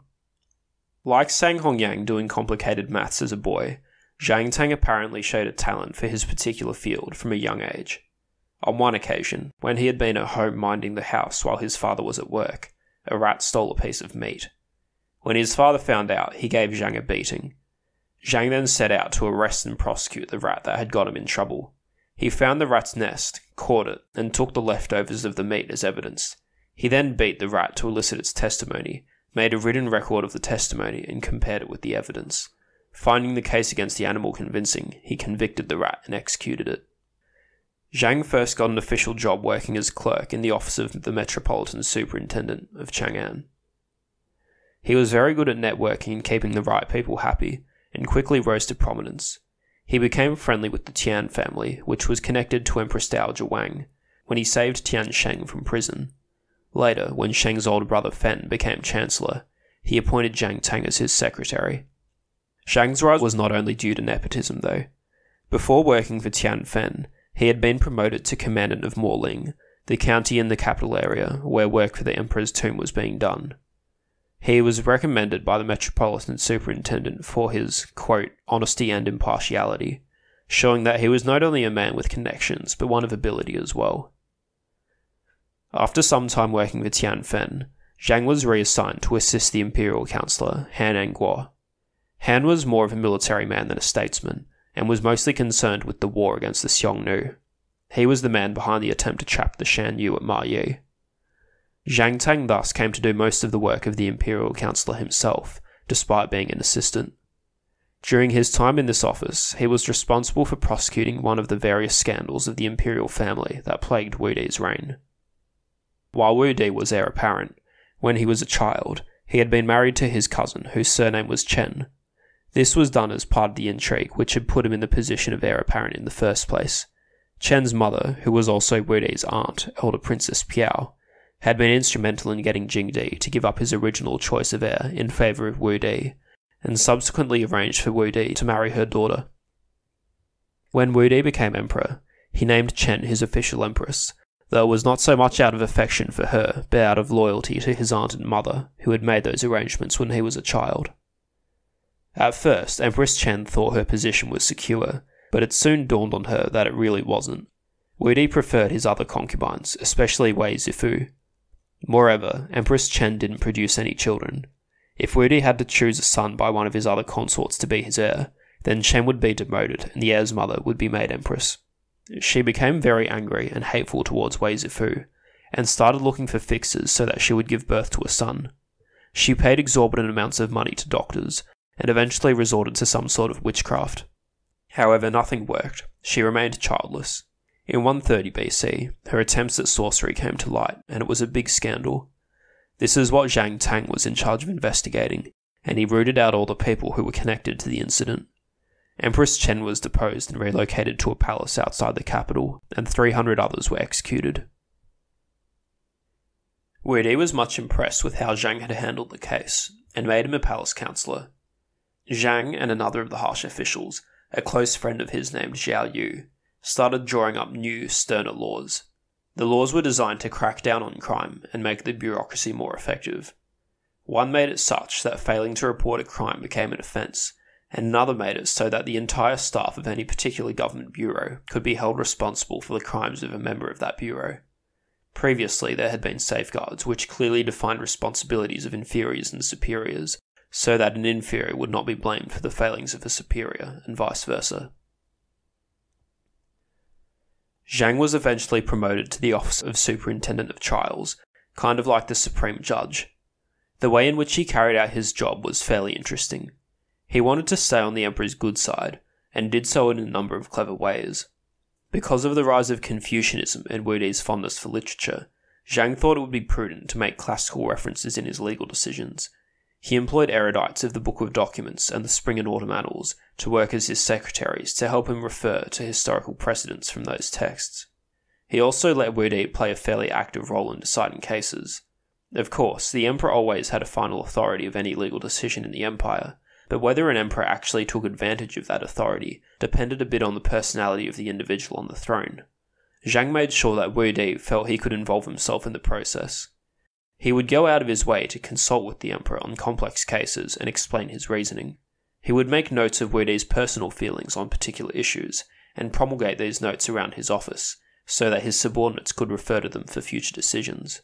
If there was a case where he felt that Wu wanted the accused to get off lightly, he would assign his more liberally minded secretaries to it. And if there was one where Wu wanted a heavy punishment, he would give it to his harsher secretaries. And although in the early days of his official career, Zhang had made friends with some wealthy merchants in Chang'an, a fact which he concealed when he reached higher office because of the stigma around merchants. He apparently had a bias in favour of the poor, and would do what he could to give them lenient sentences. On the other hand, when it came to the rich and powerful, he would, quote, twist the law in an effort to find them guilty. Alongside these efforts to ingratiate himself with the emperor and the Confucian intellectual wave, he also acted the generous and hospitable member of high society. Thus, despite being an at times severe, and not impartial judge, he was quite admired. It was during his time as superintendent of trials that Zhang Tang dealt with perhaps the most serious case of dissidence in Wu Di's reign. This was the rebellion of the kings of Huainan and Hengshan, or rather, the charge that these kings were plotting to rebel. The two ruled large neighbouring kingdoms in the south of China, there is quite a lengthy chapter in the records detailing their plots, but to be honest, it isn't worth recounting in detail. It's enough to give the basics behind their motives and the outcome. Liu An, the king of Huainan, and Liu Ci, the king of Hengshan, were both disgruntled with the imperial government on the account that their father, Liu Chang, King Li of Huainan, had been demoted by Wen Di because of various crimes and had died while being transported to his exile. In addition, Liuan developed a sort of delusion that he himself could become emperor. Early into Wu Di's reign, in 139, when the emperor was still young and childless, the supreme commander, Tian Fen, had rather carelessly remarked to Liuan that if the emperor should die without an heir, then An would be the best choice to succeed him. Delighted by the prospect, Liuan began to delude himself about the state of the empire, and over the years came to think that outside his own kingdom, China was suffering under brutal tyranny, he believed that if he revolted, it would be easy to get the common people on his side, and that he would be hailed as a revolutionary in the same vein as Chen Shi, who had begun the rebellion against Qin. He patronized men of learning and artists, like Wu Di was doing, in order to build a reputation for himself as a wise king. As a product of this effort, we have a work called the Huainan Zi, which is an encyclopedic, eclectic sort of work, drawing from various philosophies, especially Taoism, which provides a guide for how a ruler should conduct himself. The king of Hengshan, Liu was apparently not very friendly with his brother An, but had his own grievances against the Imperium. As well as the memory of his father's punishment, he was dissatisfied with the ministers of his kingdom, who were more loyal to the emperor than to him, which was, if you remember, by design. One of Jingdi's responses to the rebellion of the Seven Kingdoms was to give the central government the right to appoint all the major government officers of the kingdoms. Moreover, he was worried that if Huainan revolted, it would invade his own kingdom, Hengshan. Thus, he made plans to mobilize in case that happened, which would have been illegal. Even if it was in self defense, kings were not allowed to call out their own armies without imperial permission. Either way, the king of Huainan's plan to revolt came to light when his ostracized younger son revealed them to the government in 123 BC. Zhang Tang, as superintendent of trials, was sent to investigate. The investigation also revealed the intentions of the king of Hengshan. The two were executed in 122, along with several tens of thousands of their associates. Also implicated in the investigations was the king of Jiangdu. Jiangdu was another large kingdom neighbouring Huainan on the southeastern coast. It was ruled by Liu Jian, a nephew of Wu Di's. Similarly to Liu Ci of Hengshan, Liu Jian had heard about Liu An's intention to revolt and had started illegal military preparations in case he needed to defend his kingdom. In the course of the investigation, some other crimes of Liu Jian came to light, mainly sexual improprieties. During the mourning period following the death of his father, he had had intercourse with one of his father's concubines.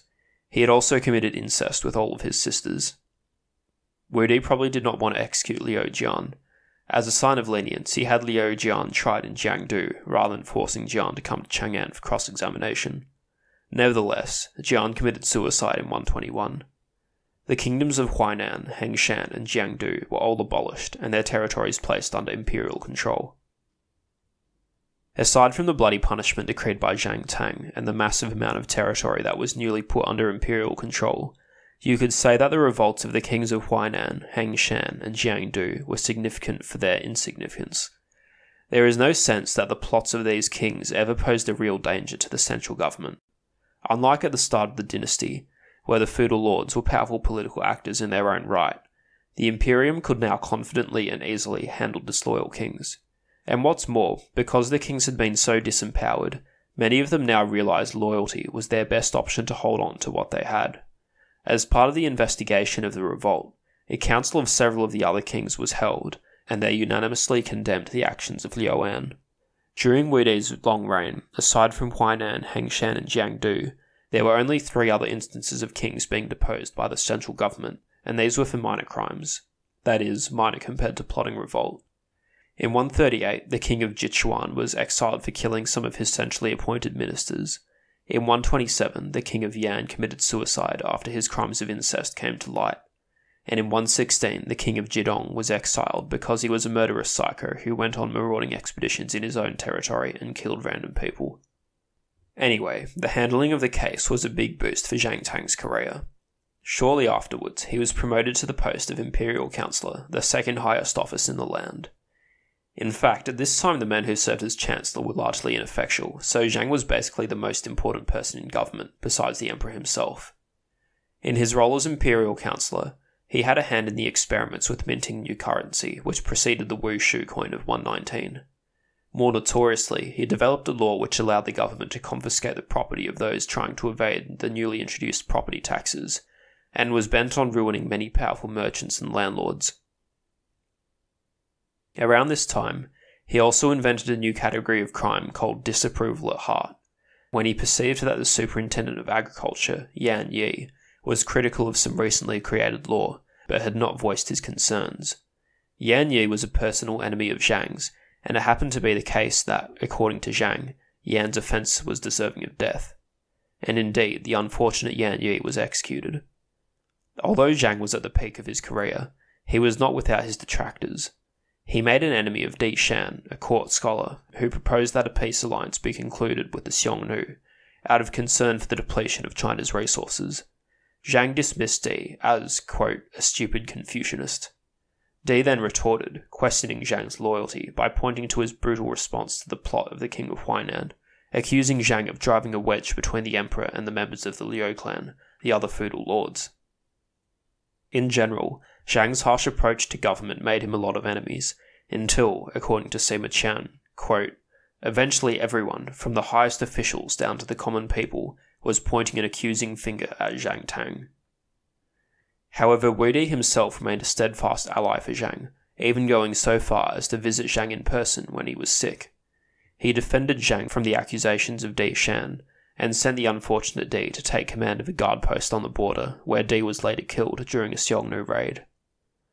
But the emperor's friendship could not protect Zhang forever. Zhang had several powerful enemies. The chancellor, Zhuang Qingdi, who feared that Zhang had his mind set on becoming chancellor himself, put three of his chief secretaries to work digging up dirt on Zhang.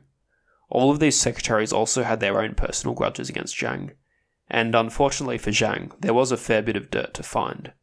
He had maintained relationships with some of his merchant friends, and was using his insider knowledge of what ordinances were in the works to help them make good investment choices. It est, buying or selling according to whether a certain good would increase or decrease in value after the new law was introduced. Perhaps more scandalously, there was a case where one of Zhang's subordinates, Lu Yezhu, had fallen sick, and Zhang had showed an unseemly amount of deference towards him. He had gone to visit Lu in person, and even went so far as to massage Lu's legs, a very humiliating thing for a superior to do for an inferior. The superintendent of trials, Jian Xuan, also disliked Zhang Tang, and when, in 116, he submitted the report to the emperor, Wu Di could not ignore it. Zhang tried to deny the charges of corruption, but the evidence against him was incontrovertible.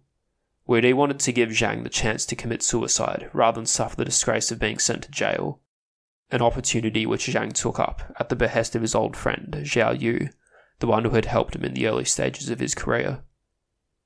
Zhang's mother was so ashamed of his conduct that she refused to give him a lavish funeral and carried him to the graveyard in an ox cart, with only an inner coffin to encase him. Wu Di, on the other hand, although he knew that he could not have kept Zhang in the job after the evidence of his corruption came to light, was still sorry to see him go. To avenge Zhang, he brought charges against Zhuang Qingdi and his secretaries, who had orchestrated Zhang's downfall. Zhuang Qingdi committed suicide. Also, Wu Di promoted one of Zhang's sons to high office as a way of compensation. Zhang Tang's name was behind some of the laws which defined Wu Di's reign disapproval at heart, confiscation of property, and whole bureau responsibility. However, it's questionable whether all of these new laws were really such good ideas. The story behind the development of disapproval at heart seems to suggest that it was intended as a negative incentive to prod ministers into being more open with their criticism of policy. In his condemnation of Yan Yi, Zhang Tang said, quote, Yan Yi, one of the nine highest ministers, having seen that the law was impractical, did not state his opinion to the emperor, but nevertheless disapproved of it in his heart. It seems that the main problem, according to Zhang, was not that Yan was critical of the new law, but that he had withheld his criticism. However, as we might expect, the law had the opposite of the intended effect. It made ministers fearful of expressing their qualms about the emperor's ideas at all, and instead they sought to flatter him and stay in his good graces. I think it's possible that this played a part in the shift of the power from the official bureaucracy to the inner court. The status of holding an official government position no longer guaranteed a man enough safety to criticise and develop ideas for new policy. What you needed was the personal friendship of the emperor, like Zhang himself enjoyed. Another case of where Zhang's ideas may have backfired was with the principle of extending responsibility. Sometime after Zhang's death, a new law known as the concealment law was developed stating, quote, If bandits arise and their presence is not reported, or if the full number are not arrested after the presence has been reported, everyone responsible, from the 2,000 picul officials down to the lowest clerks, will be executed. It'd be unfair to saddle Zhang Tang with responsibility for this ludicrous piece of legislation, which demanded an absurdly high standard of competence from the officials, However, it does seem to be inspired by his laws that made it illegal to fail to report criminal activity, and that held whole bureaus responsible for the offences of individuals. The concealment law, ironically, caused provincial officials to try and conceal criminal activity rather than prevent it. It was much easier and safer to try and cover up banditry and ignore it than to acknowledge it and risk being sentenced to death for failing to arrest all the culprits. Having talked about the shift from the outer court to the inner court, the harsh officials, and some of the new laws of the dynasty, there are two other governance sort of things I'd like to mention. The first of these was the purge of what I call the old guard marquises in 112. When it came to creating new marquisates, there were two general classes of people whom Wu Di liked to reward.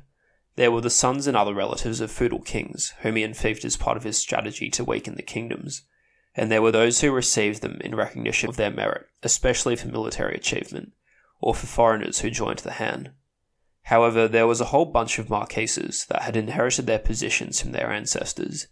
Gaozu especially had created a lot of marquises, and their fiefdoms had been passed down for several generations to Wu Di's own time.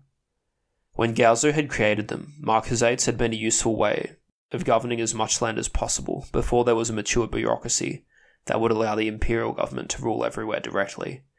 But by this point in the dynasty, that bureaucracy had developed, and marquisates were no longer a necessary unit for administration.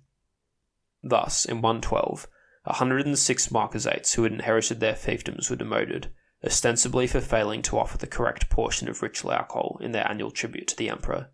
But it's possible that Wu Di was also angry at them for not following Bu Shi's example and volunteering to fight in the Nanyue campaign, which was launched that same year. The other thing I wanted to mention was the establishment of regional inspectors in 106. The regional inspectors were responsible for checking in on the governance of the commanderies. The different commanderies were grouped into 13 clusters, known as provinces, with one inspector for each province. One of the interesting things is that though the inspectors were responsible for monitoring the commanderies, they were actually ranked lower than the commandery governors. The office was probably created because of the huge increase in the number of commanderies. By 106, their number had doubled since the start of Wudi's reign.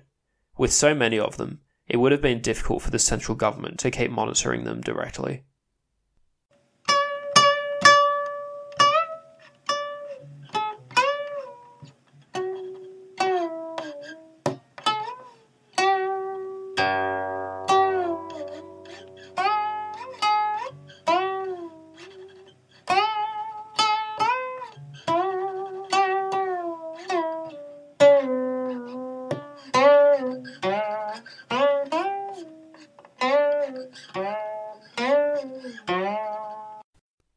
Last broad topic I'd like to talk about regarding Wu Di is the various dramas involving the imperial family throughout his reign and his eventual choice of heir. An unusual thing about Wu Di's concubines was that nearly all of them were commoners. Aside from his first empress, Chen, whom he was married to for political reasons, none of the named women whom he took as wives came from noble families. Worse, some of the women came from families of singers and dancers, not at all respectable occupations. Historian Junshu Zhang speculates whether this elevation of commoner women was inspired by his mother. Empress Dowager Wang was herself originally a commoner, and it's possible that by choosing commoner women as his consorts, Wu Di was trying to do away with the sort of stigma that his mother had been subject to during the early years of her marriage to Jing Jingdi. Now, as we discussed, Wu Di's first empress was Chen, who was deposed in 130 after a black magic scandal, it was not until a few years later, in 128, that another of Wu Di's concubines was selected to be empress. The lucky woman was Wei Zifu. She had been brought to the palace by Princess Pingyang, Wu Di's sister. Princess Pingyang was married to the Marquis of Pingyang, and in 139, early into Wu Di's reign, she presented to the emperor a number of girls from her husband's marquisate, because Wu Di had not yet fathered a son, and the empire was without an heir apparent. Wei Zifu was not one of the selected girls, who were all from good families. She had been brought along with a number of others to perform as singers during the occasion. It ended up that Di found none of the selected girls interesting, but Wei Zifu caught his attention, and that night they shared un moment d'amour, and Wei entered the palace harem. However, Wei's first year at the palace was not a fun one. Due to the efforts of Empress Chen to keep Wei and her kin in obscurity, Wu Di ended up ignoring Wei completely, Eventually, as part of a workforce imbalance correction in the palace, a number of the palace ladies were to be sent home. Wei, quite bored, languishing as just some lady in waiting and not receiving any attention, managed to attain an audience with Wu Di and begged to be sent home as well. Instead, Wu Di took pity on her and began to favour her again. She stayed in the palace and rose to become one of his favourites. She bore him four children, three daughters and a son. It wasn't just Wei herself who benefited from the emperor's favour. Several of her relatives were elevated alongside her, some of whom we've already met. There was Wei Qing and Huo Qubing, generals who were in charge of some of the largest campaigns against the Xiongnu. They were respectively the brother and nephew of Wei Zifu. Her brother-in-law, Gongsun He, was another commander in the Xiongnu campaigns, and later served as chancellor between 103 and 92 BC. In all, five members of the Wei family received marquisates, and in 122 the ultimate honour was bestowed, Wei Zifu's son, Liu Ju, was named heir apparent. This was done partly in reaction to the investigation of the King of Huainan, who had been fueled by the belief that, so long as no heir apparent had been named, he had a chance at becoming emperor. Wei Zifu remained empress for 37 years after her nomination, and her family enjoyed considerable political power. However, she herself did not remain Wu Di's favourite for that whole time. As she grew older, his attention turned to other women. There was Lady Wang, who gave birth to a son who became King of Qi, but she died young, and few of her relatives achieved positions of note. She was the concubine whose ghost Wu Di tried to communicate with under the guidance of the magician Xiaoweng. After Lady Wang, the next woman to receive the cream of Wu Di's affection was Lady Li. This was another short-lived romance. Though we do not know the exact year she began service at the palace, we know that she died young. Despite the brevity of her time in the spotlight, though, a number of men from her family were able to rise to prominence. Her brother, Li Guangli, became a general and led the famous campaigns to Dayuan. Another of her brothers, Li Yannian, was already a eunuch serving in the palace before his sister joined Wu Di's harem. After she did so, he too became romantically involved with Wu Di and received numerous honours, including a new office called Master of Harmonies, which was in charge of musical entertainment at the palace. He also received seals which marked him as equal in rank to the nine ministers. In the winter of 92 to 91 BC, some events happened that snowballed into a major dynastic crisis. Gongsun Jingsheng, son of the Chancellor Gongsun He and nephew of Empress Wei, was arrested for embezzling a huge sum of money meant for military use. Gongsun He offered to catch a man named Zhu Anshi, a criminal who was loose in the capital, in return for having his son released of his charges. The emperor agreed, and Gongsun did in fact catch Zhu.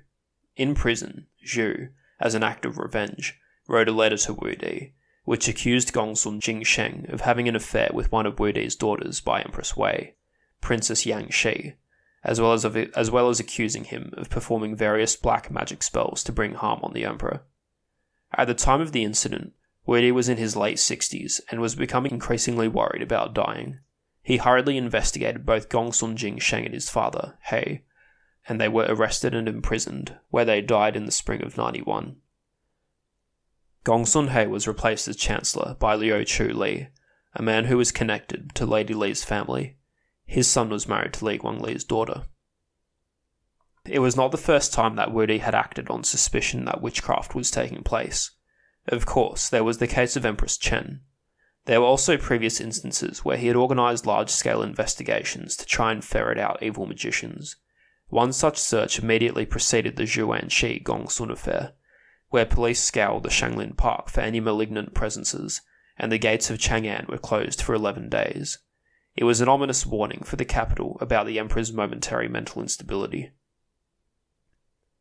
The downfall of Gongsun He showed that Wu Di's suspicion of witchcraft could be used as a tool to bring down political rivals. According to the Book of Han, he was, at this moment, quote, spontaneously inclined to imagine evil, and suspected the whole of his immediate entourage of working with gu, the Chinese version of a witch's cauldron, imprecations and spells. Tragically, shortly after the Gongsun case, two of Wu Di's daughters by Empress Wei, Princesses Yang Shi and Zhu Yi, were accused of witchcraft and were executed. Unfortunately, I've been unable to find any detailed account of the story behind this occurrence, and I do not know to what extent their cases were linked to that of Gongsun He and Jing Sheng. Yang Shi was the princess whom Zhan Shi had accused Gongsun Jing Sheng of having an affair with. In the summer of 91, Wu Di fell sick and retired to the Ganquan Palace northwest of Chang'an. A man named Jiang Chong took advantage of the emperor's paranoia and blamed his sudden illness on sorcery. Jiang Chong was the superintendent of waterways and parks, the head of that new ministry in charge of the mints at the Shanglin Park. He and the heir apparent, Liu Ju, were on bad terms, and Jiang was worried that if Wu Di died and Liu Ju came to the throne, then he himself might face some charges or even death. Jiang investigated the residences of the crown prince and other notables and found evidence that various acts of black magic had been performed. Liu Ju was startled. His father was away, sick in Ganquan, and may have already passed away without him knowing. His tutor, Shi De, a member of the Wei clique, reminded Liu Ju of the disaster that had befallen the Qin prince Fu Su, who had been tricked into giving up his position as heir apparent and committing suicide by Zhao Gao and Li Si after the first emperor had died. Liu determined that he must take action before something similar happened to him. He arrested and beheaded Jiang Chong and killed Han Yue, the superintendent of the imperial clan, who questioned the prince's authority to make the arrest. At the same time, Liu sent a messenger to his mother, Empress Wei, to mobilize the guards of the Wei Yang and Chang'an palaces. Though he had moved quickly, it was not decisive. A colleague of Jiang Chong's, Zhang Gan, managed to escape the prince's men and fled to Ganquan, where he informed the emperor of what had happened. Also, mobilizing the guards was not an entirely smart idea. It doesn't seem like Liu Ju had the authority to do so, and the population of the city was apparently unhappy about it.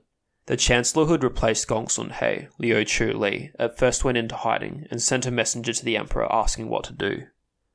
When Wu Di found out what had happened, he was outraged, interpreting the actions of his son as a revolt.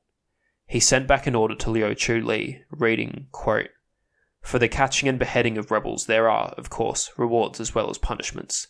Build armoured turrets on ox carts, and do not engage hand to hand with swords, lest many soldiers be killed or wounded. Shut fast the city gates, lest any rebels escape. Wu Di relocated to the Jianzhang Palace in Shanglin Park so that he'd be closer to the action. He started raising the soldiers from throughout the greater metropolitan area to come and reinforce Liu Chuli's men in the city.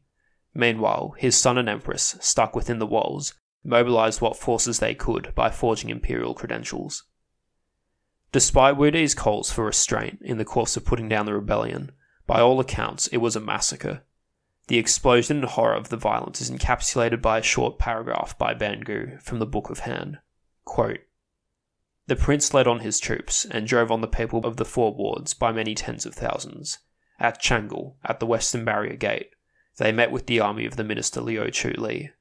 The hand to hand struggle lasted five days, tens of thousands were slain, and the blood flowed down into the moats. But as the ministers steadily received reinforcements, the crown prince was defeated. Liu Ju managed to escape the city through the Fuang Gate south of the Changle Palace. The officer in charge of the gate, Tian Ren, led him through at nightfall, an act of kindness that he'd soon pay the price for. Liu fled east, where he sought refuge with a friend. However, he was later discovered and killed, along with his wives and children. Only one of his grandsons was left alive. Meanwhile, Empress Wei never attempted to escape the capital, and had already committed suicide. Many others were punished in relation to the incident, including families of those who had already been killed. Tian Ren was sentenced to death by bisection. The imperial councillor, Bao Shengji, was also sentenced because he had declined to punish Tian Ren for letting the prince go. He committed suicide. The year 91 ended with Empress Wei's faction emaciated. The empress herself and her children were dead. Her brother in law, Gongsun He, and his family were dead. Even men who were fairly tangentially connected to the Weis ended up being accused of witchcraft. Gongsun Ao and Xiao Ponu were commanders who had served under Wei Qing and Huo Qubing, brother and nephews of Empress Wei.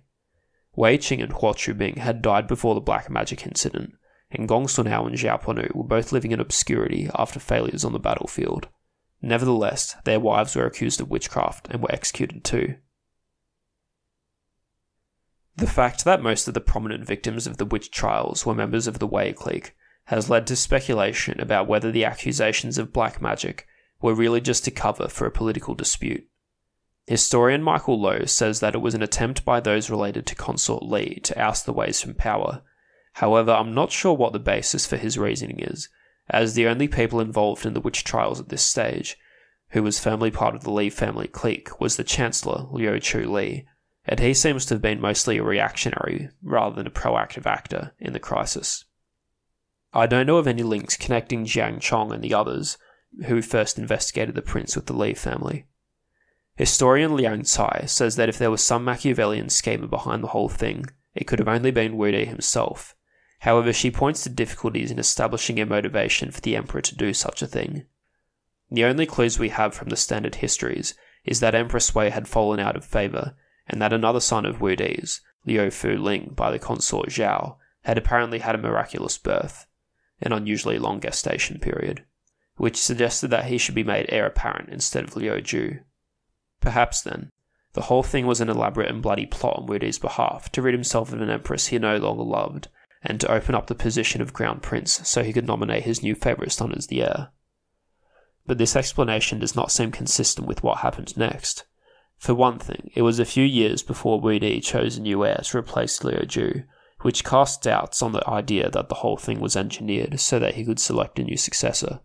Furthermore, the witch trials were far from over, and with all the Weis nearly eliminated, new targets found themselves under suspicion. The Li family and its allies stood to benefit the most from the removal of the Wei family. Now, Lady Li herself had probably already died of natural causes before the whole black magic terror started, the clique was instead centered around the son she had born Wu Di, Liu Bo, who had, made, who had been made king of Changyi. Men of the Li clique stepped in to take up the vacant roles left by the persecution. Liu Chu Li, connected to the Lis by his son's marriage to Li Guangli's daughter, had become chancellor after the death of Gongsun He. One of Liu Chu Li's subordinates, Shang Qiu Cheng, became imperial counselor after Bao Shengji's suicide. Li Guangli, Lady Li's brother, was already the preeminent general of the empire since his victory over Da Yuan in 101. But before the Li family could really establish themselves, they too fell victim to the sorcery paranoia. In the spring of 90 BC, Li Guangli and Shang Cheng, along with another general, were sent on a campaign against the Xiongnu. Before leaving, Li Guangli spoke to Liu Chu Li about the matter of a new crown prince, seeing as Wu Di had not yet nominated another of his sons since the death of Liu Ju. He said, quoting from the book, I hope, my lord, that you will as soon as possible persuade the emperor to appoint the Prince of Changyi to the dignity of heir apparent. Should he become our emperor, would you, my lord, regret it? Naturally, both Li Guangli and Liu Chu Li thought that they would benefit if Lady Li's son were to ascend the throne. However, when Liu Chu Li submitted the idea of nominating Liu Bo as heir apparent to Wu Di's secretaries, the fairly reasonable suggestion got distorted into something much worse. Liu Chu Li and his wife were accused of performing acts of witchcraft in order to kill Wu Di. In addition, they and Li Guangli were accused of performing other spells so that Liu Bo would become emperor. Liu Chu Li, his family, and those of Li Guangli's family who had remained in Chang'an were executed. When Li Guangli, out campaigning, heard the news, he decided that it would be best not to return to China and surrendered to and joined Xiongnu. The other brothers of Lady Li, Yan Yan and Ji, were both executed as well. A few years later, in 88 BC, Liu Bo himself died, perhaps suspiciously. I mean, I can't find out why he died, but he would have been quite young. That same year, the imperial counselor and Liu Chuli's former subordinate, Shang Qiu Cheng, committed suicide after more witchcraft allegations. After the execution of Liu Chu Li and Li Guangli surrendered to the Xiongnu, the two most powerful consort families the Weis and the Lis were politically decimated. Yet even now, the trials didn't stop. Attention turned to those who had been opposed to the late heir, er, Liu Ju. Some of those associated with the original conspiracy against Liu Ju were executed. Other men who had played a role in his eventual capture and death, several of whom had been rewarded with noble titles because of their deeds, were also disposed of. The most reasonable explanation for why the tide turned against these men is that Wu simply realized that his son had been the victim of a conspiracy and that his revolt had been an attempt to defend himself, not an attack on the Imperium.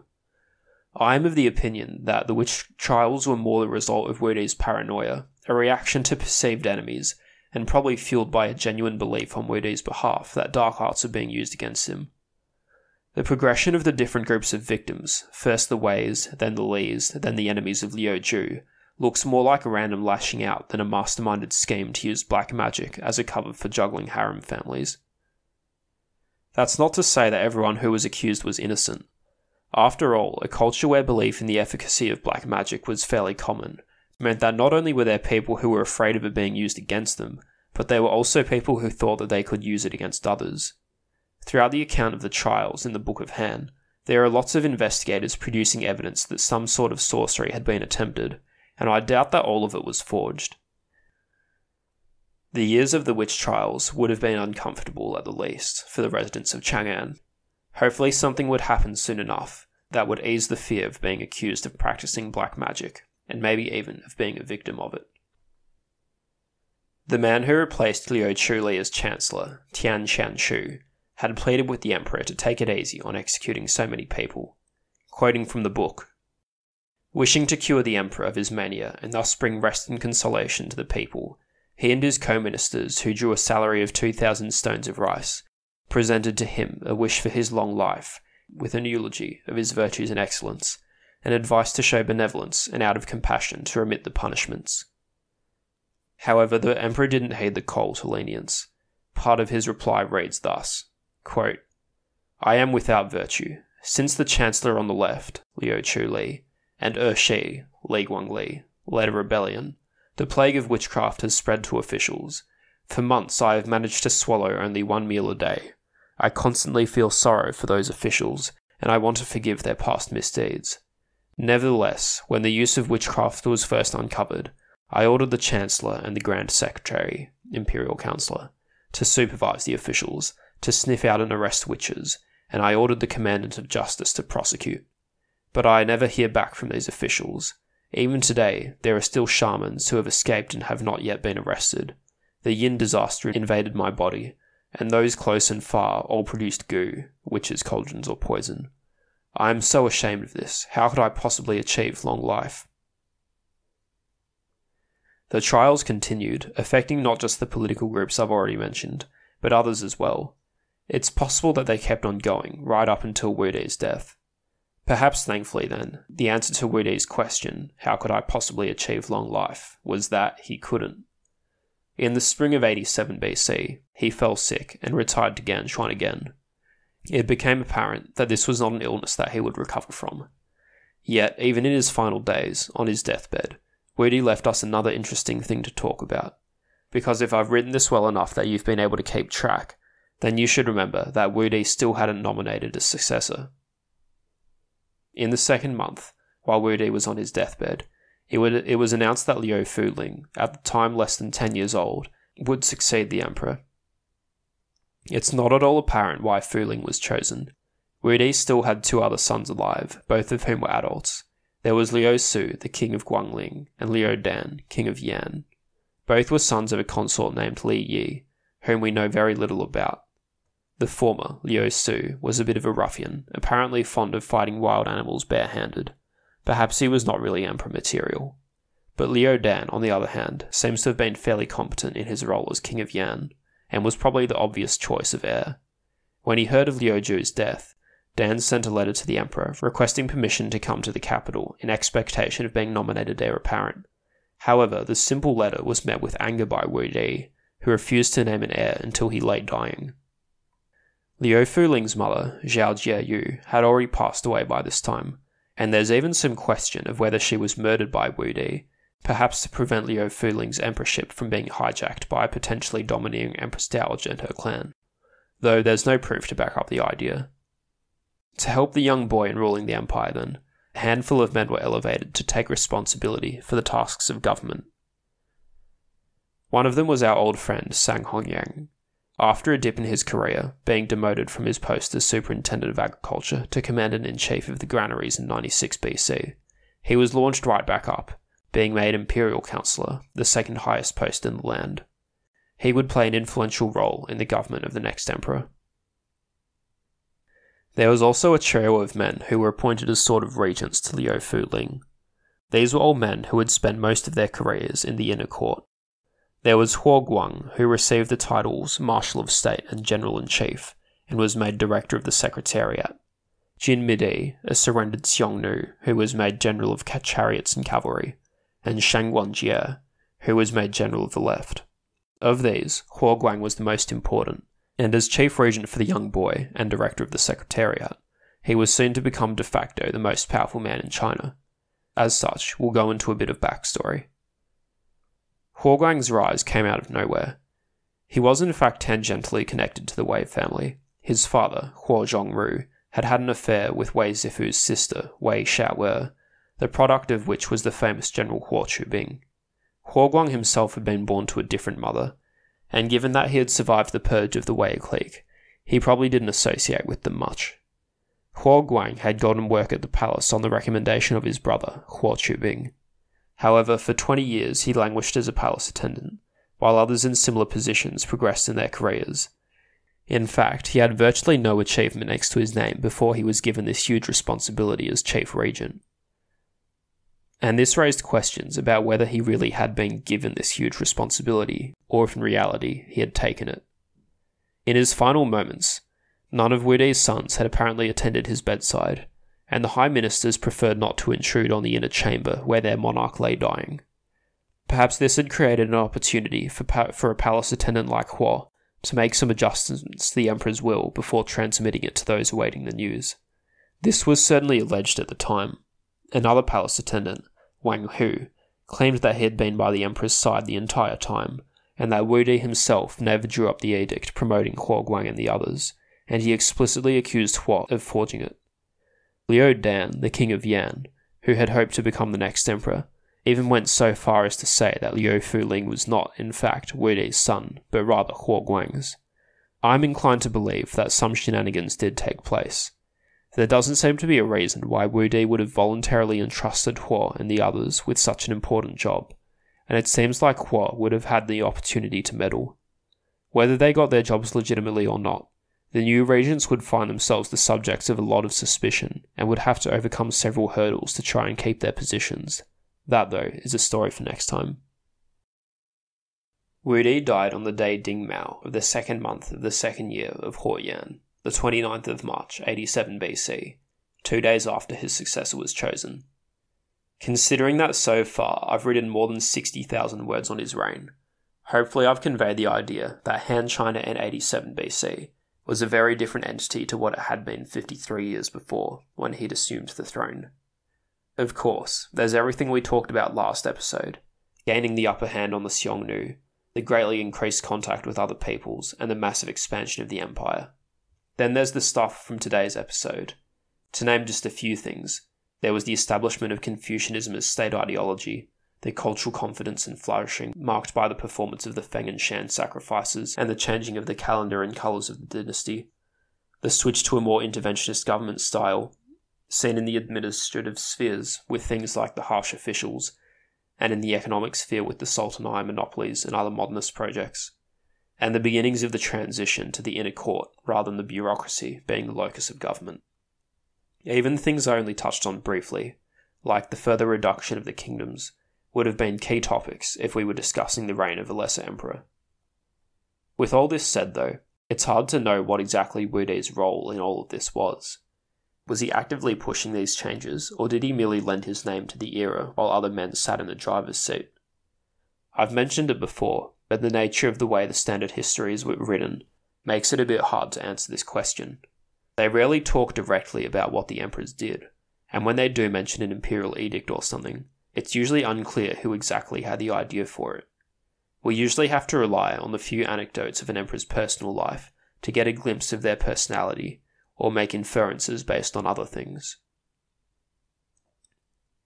Some historians have described Wu Di as personally vigorous and active. Rene Grousset says, quote, Gifted with prodigious energy and an extraordinary vitality, he took no thought of conserving his strength one finds him, like the Assyrian kings of former times, bringing wild beasts to bay in high grasses, reckless of his life and the great consternation he caused his attendants. A man of remarkable intelligence, full of bold and original ideas, and with a taste for autocracy, he nevertheless understood the wisdom of listening to the opinions of others. Junshu Zhang sees Wu Di as personally invested in many of his policies, especially the war against the Xiongnu. He makes a lot out of Wu Di's edict, which described the campaigns against the Xiongnu as a vengeance for historical grievances, Gaozu's loss at Pingcheng, and Mao Dun's insulting letter to Empress Lü. For Zhang, Wu Di's ambition for military conquest was kind of the driving force behind several other changes. The promotion of Dong Zhongshu's Confucianism was an ideological justification, and the new administrative and economic policies mobilized men and resources for the campaigns. However, others have questioned the extent to which Wu Di himself can be credited with the achievements of his reign. Michael Loewe writes, quote, Many writers have ascribed to him personal qualities of vigour and initiative, and held these to be responsible for the achievements of the reign, but on closer inspection, direct evidence to support such claims is far from clear cut. Much of the initiative which was taken in these decades may be traced to the proposals of his statesmen, some of whom were related to the emperor's consorts, but Wu himself took no personal part in the direction of the military campaigns for which his reign is famous. We read of him taking the leading role in religious ceremonies, supervising the final moments of repairs to the dikes of the Yellow River, or inspecting a victory parade. In addition, he is reported as seeking means to achieve immortality or listening to the persuasive talk of magicians and intermediaries. When troubles broke out between his consorts and their families, the witchcraft trials, the 60 year old emperor apparently could not quell the disturbances by force of character. Don't take them too seriously, but I'll say some of my own thoughts on the matter. I can't fully dispense with the idea of Wu Di being an energetic man. In a system like Han China, where the emperor was the ultimate arbiter, I don't think you could have the drastic policy changes of his reign without some involvement from the man himself. If I may, I'll crudely apply Plato's chariot analogy to the question. In Plato's chariot, you've got two horses and a charioteer. One horse is a noble steed, passionate and powerful, embodying higher moral impulses. The other horse is wild and untamed, representing man's base instincts. The charioteer represents the intellect, the force which steers the two energies. I think of Wu Di as being like the two horses. Sometimes he pulled towards good ends, like defeating the Xiongnu and expanding Chinese dominion. Here I mean good purely from the imperial perspective, or even sponsoring the arts. But sometimes his drive was towards bad ends, like punishing critics, harsh laws, and witchcraft trials, products of his vindictiveness and paranoia. Then the men around him, the ministers and influential attendants, were the charioteers, they utilized Wu Di's energy, sometimes crafting policies to the benefit of the empire, like Sang Hongyang's economic innovations, or all the men who planned the military campaigns, and sometimes to fulfill their own desires, like Dong Zhongshu's elevation of Confucianism, and even more nefarious things, like exploiting the terror of the witch trials to deal with political enemies. Did I just say Dong's elevation of Confucianism was his own desire, not a goal of Wu Di's? Well, yeah, Here's the part where I try and pull some of my disparate narrative threads back together. So, I described the rise of Confucian ideology as perhaps the most important event of Wu Di's reign. But I really wonder if that's what he had his mind on when he approved Dong Zhongshu's famous proposal. That phase, where there were several influential Confucians and Confucian sympathizers, like Tian Fen, Dou Ying, Dong Zhongshu, and Gongsun He, happened fairly early in Wu Di's reign, when he was still a young man, he was perhaps quite impressionable, and I think what he was probably most interested in about Dong's philosophy was the justification it gave for military expansion. He may not have thought too hard about what it meant to restrict the erudite's focus to the classical texts. My reason for thinking that he wasn't too committed to Confucianism as a state ideology is all the evidence from later in his reign. There's the work of Liang Cai, showing that Confucian scholars made up a very small minority of men who reached senior ministerial positions. There's the employment of harsh officials, whose philosophy of overwhelming punishment was not at all in line with the Confucian ideal of ruling by virtue. There's the implementation of modernist economic policies, which we'll see next episode came under severe criticism by the more Confucian minded reformists. His ignoring the advice of classicists when it came to religious practices like the ritual of the Feng and Shan and the building of the Bright Hall. Even with his literary taste, his love of Sima Xiangru's fantastical works of poetry did not agree with Confucian orthodoxy. All these things suggest to me that ultimately, he didn't take Dong Zhongshu's great unification of thought very seriously. Even if the establishment of Confucianism as the state ideology was the greatest legacy of his reign, I'm not sure that it was by Wu Di's own design. But again, please don't take these musings of mine very seriously. Of course, the other contender for greatest legacy of Wu Di's reign was his conquests and territorial acquisitions. Amateur historian Sunny Y. Auyang says of Wu Di, quote, Were he a Western emperor, he would be called the Great. But traditional Chinese commentators had more mixed feelings about him and his conquests. Of course, military accomplishment could be a valuable political badge, but it could also be a bit of a double edged sword. In the Roman Empire, campaign experience was practically a prerequisite before entering the higher echelons of politics. In China, while military achievement could be a pathway into politics, it was not the default one. Most High Ministers either came from important distinguished families or worked their way up through the vast civil bureaucracy. Perhaps because they were not a military class, Chinese intellectuals were always wary of the costs of expeditionary wars and less impressed by the gains. Whether it was from the Confucian ideal of attracting barbarians by cultivating virtue, or even military idealism, exemplified by the famous line from The Art of War quote, The skillful leader subdues the enemy's troops without fighting. The Chinese political class was simply less enamored with victory in battle. The fact that a direct fight had taken place at all meant that the situation was less than optimal. We've already seen how Sima Qian subtly criticized Wu Di in the records, even Ban Gu, who is generally more positive about the Han Emperors, deals Wu a bit of a backhanded compliment by somewhat wistfully pondering what might have been if the Emperor's energies had been more focused on the welfare of his people than on conquest and extravagance. Quote, if Emperor Wu, with his superior ability and his great plans, had not departed from the modesty and economy of Emperors Wen and Jing, and if, by means of these principles, he had helped the common people, in what respects could any of those heroes who are praised in the Book of Odes or the Book of History have surpassed him? Even before this passage, where Bangu celebrates Wu Di's achievements, the focus is all on what the emperor did to elevate Confucianism, and there is no mention of his conquests. Wu Di was in fact one of his own worst critics when it came to his campaigns. Following an unsuccessful campaign against the Xiongnu in 90 BC, the one where Li Guangli surrendered after hearing about the extermination of his family back in Chang'an, Wu Di issued a famous edict wherein he rejected a proposal from Sang Hongyang to expand a military agricultural colony in the western regions near a city called Luntai, otherwise known as Buge.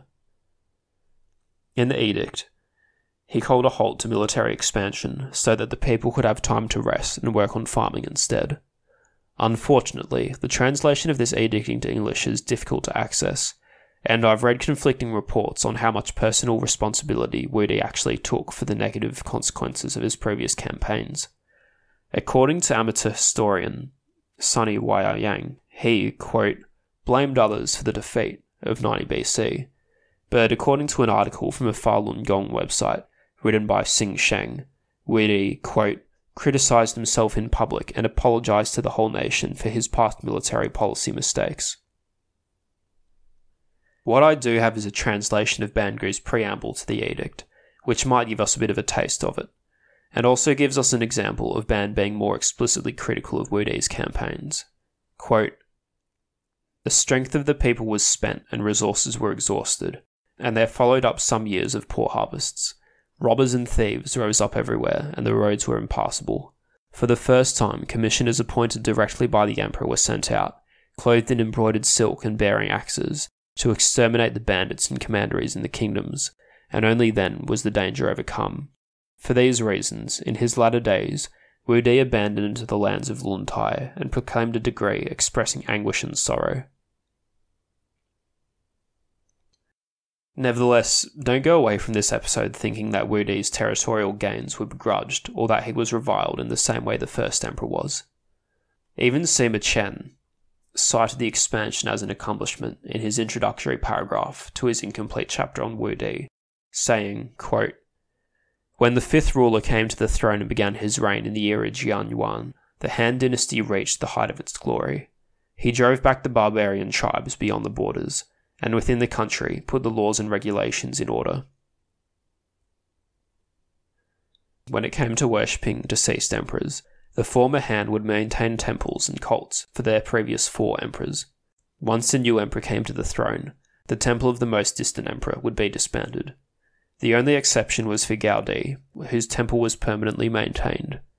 But towards the end of Western Han, about a century after his death, it was decided that Wu Di too should be permanently worshipped in recognition for his enduring legacy.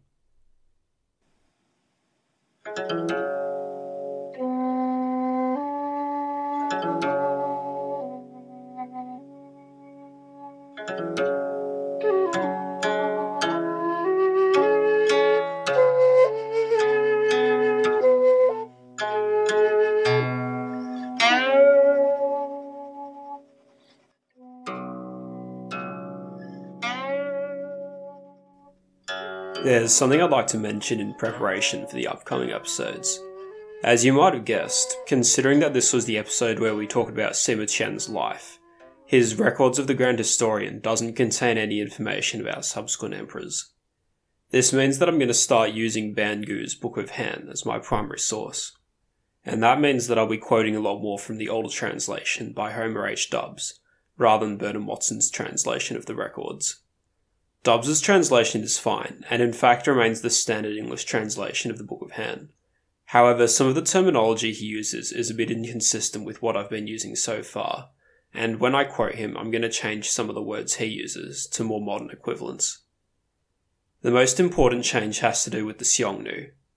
Dubs translates the word Xiongnu as Huns, because there was a theory that this particular group of nomads, who were such a presence in Han Dynasty China, later migrated west and were the ancestors of the Huns who invaded the Roman Empire of the 4th and 5th centuries AD. I'm going to use the word Xiongnu in place of Huns when I quote him, mostly for consistency and to avoid confusion, but also because there's no definitive proof that the two groups were related. The other change I'm going to make has to do with the titles of ministers in the Han government. There are several systems for translating these titles. I've been trying to stick to the Loewe system, which is used in the Cambridge History of China. It prioritises conveying the role of the office over a literal translation. There wasn't really an established system around when Dubs was translating the Book of Han, and though the terms he used were organised by later scholars, there aren't really any guiding principles behind his translation. There's been a decent amount of scholarly debate over the most appropriate way to translate these titles, and I'm in no position to declare that one system is better than another.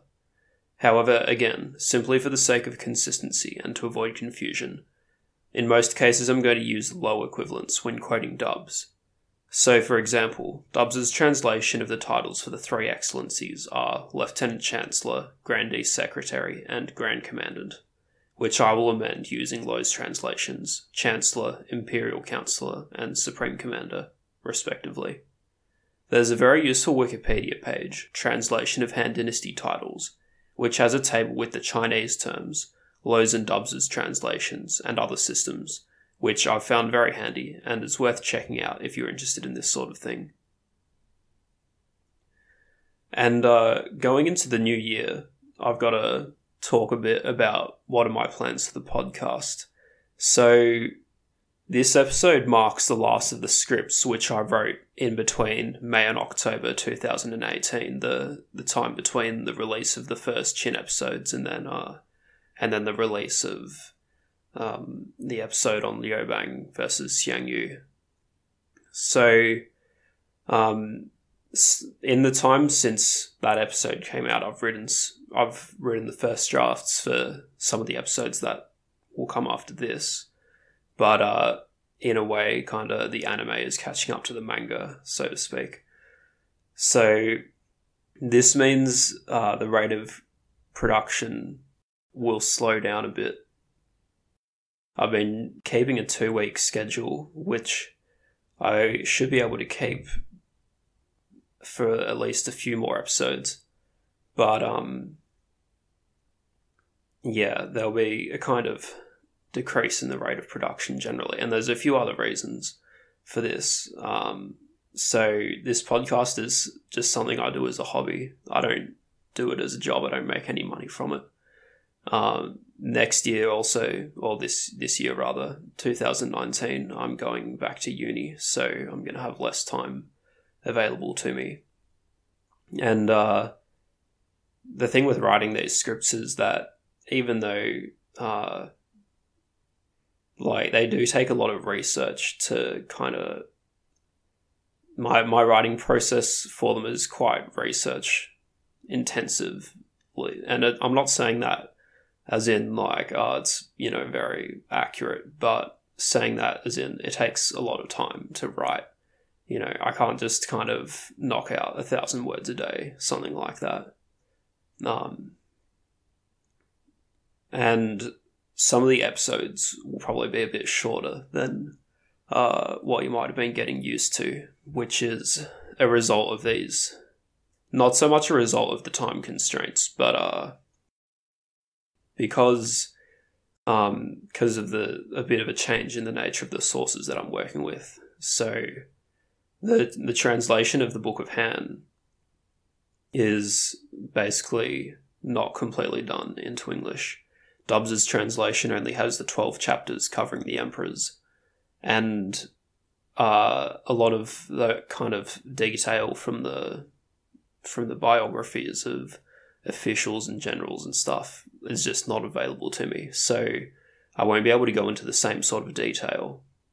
Uh, the focus might shift a bit because I'll be relying more on secondary sources. So maybe I can talk more about questions of historiography or take a broader view of the events.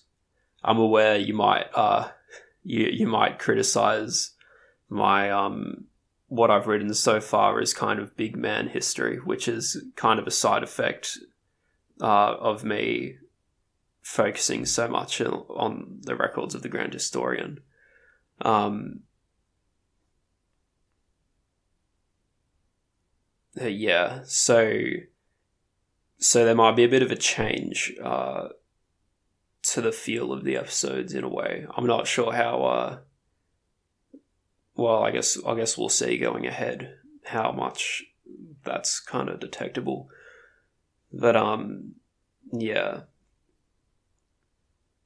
So the the upload rate might be a bit less frequent, but look, my goal is to reach the end of the Eastern Han, and uh, so I'd be very grateful if you stayed subscribed, or to or if you subscribe if you haven't already. I am kind of uh I don't know what the word for it is, but you know, seeing that uh, my podcast is, or that my work is interesting to people is quite motivating for me. Um, so, you know, that'll definitely keep keep me on the ball, so to speak, if I if I'm feeling that people are listening. Um, and speaking of that kind of stuff, I would like to do at some point in the future a sort of questions and answers episode. So if you'd be interested in such a thing, you know, you can send an email or contact me on the website. And uh, if there's enough interest or enough people asking questions, um, I can I'll sort of announce that at the end of an episode and and uh, and it'd probably just be something that I attach to the end of something or I don't know. But on that note, you can email me at offspin-history at tudornoda.com or send me a message on my website, offspinhistory.wordpress.com.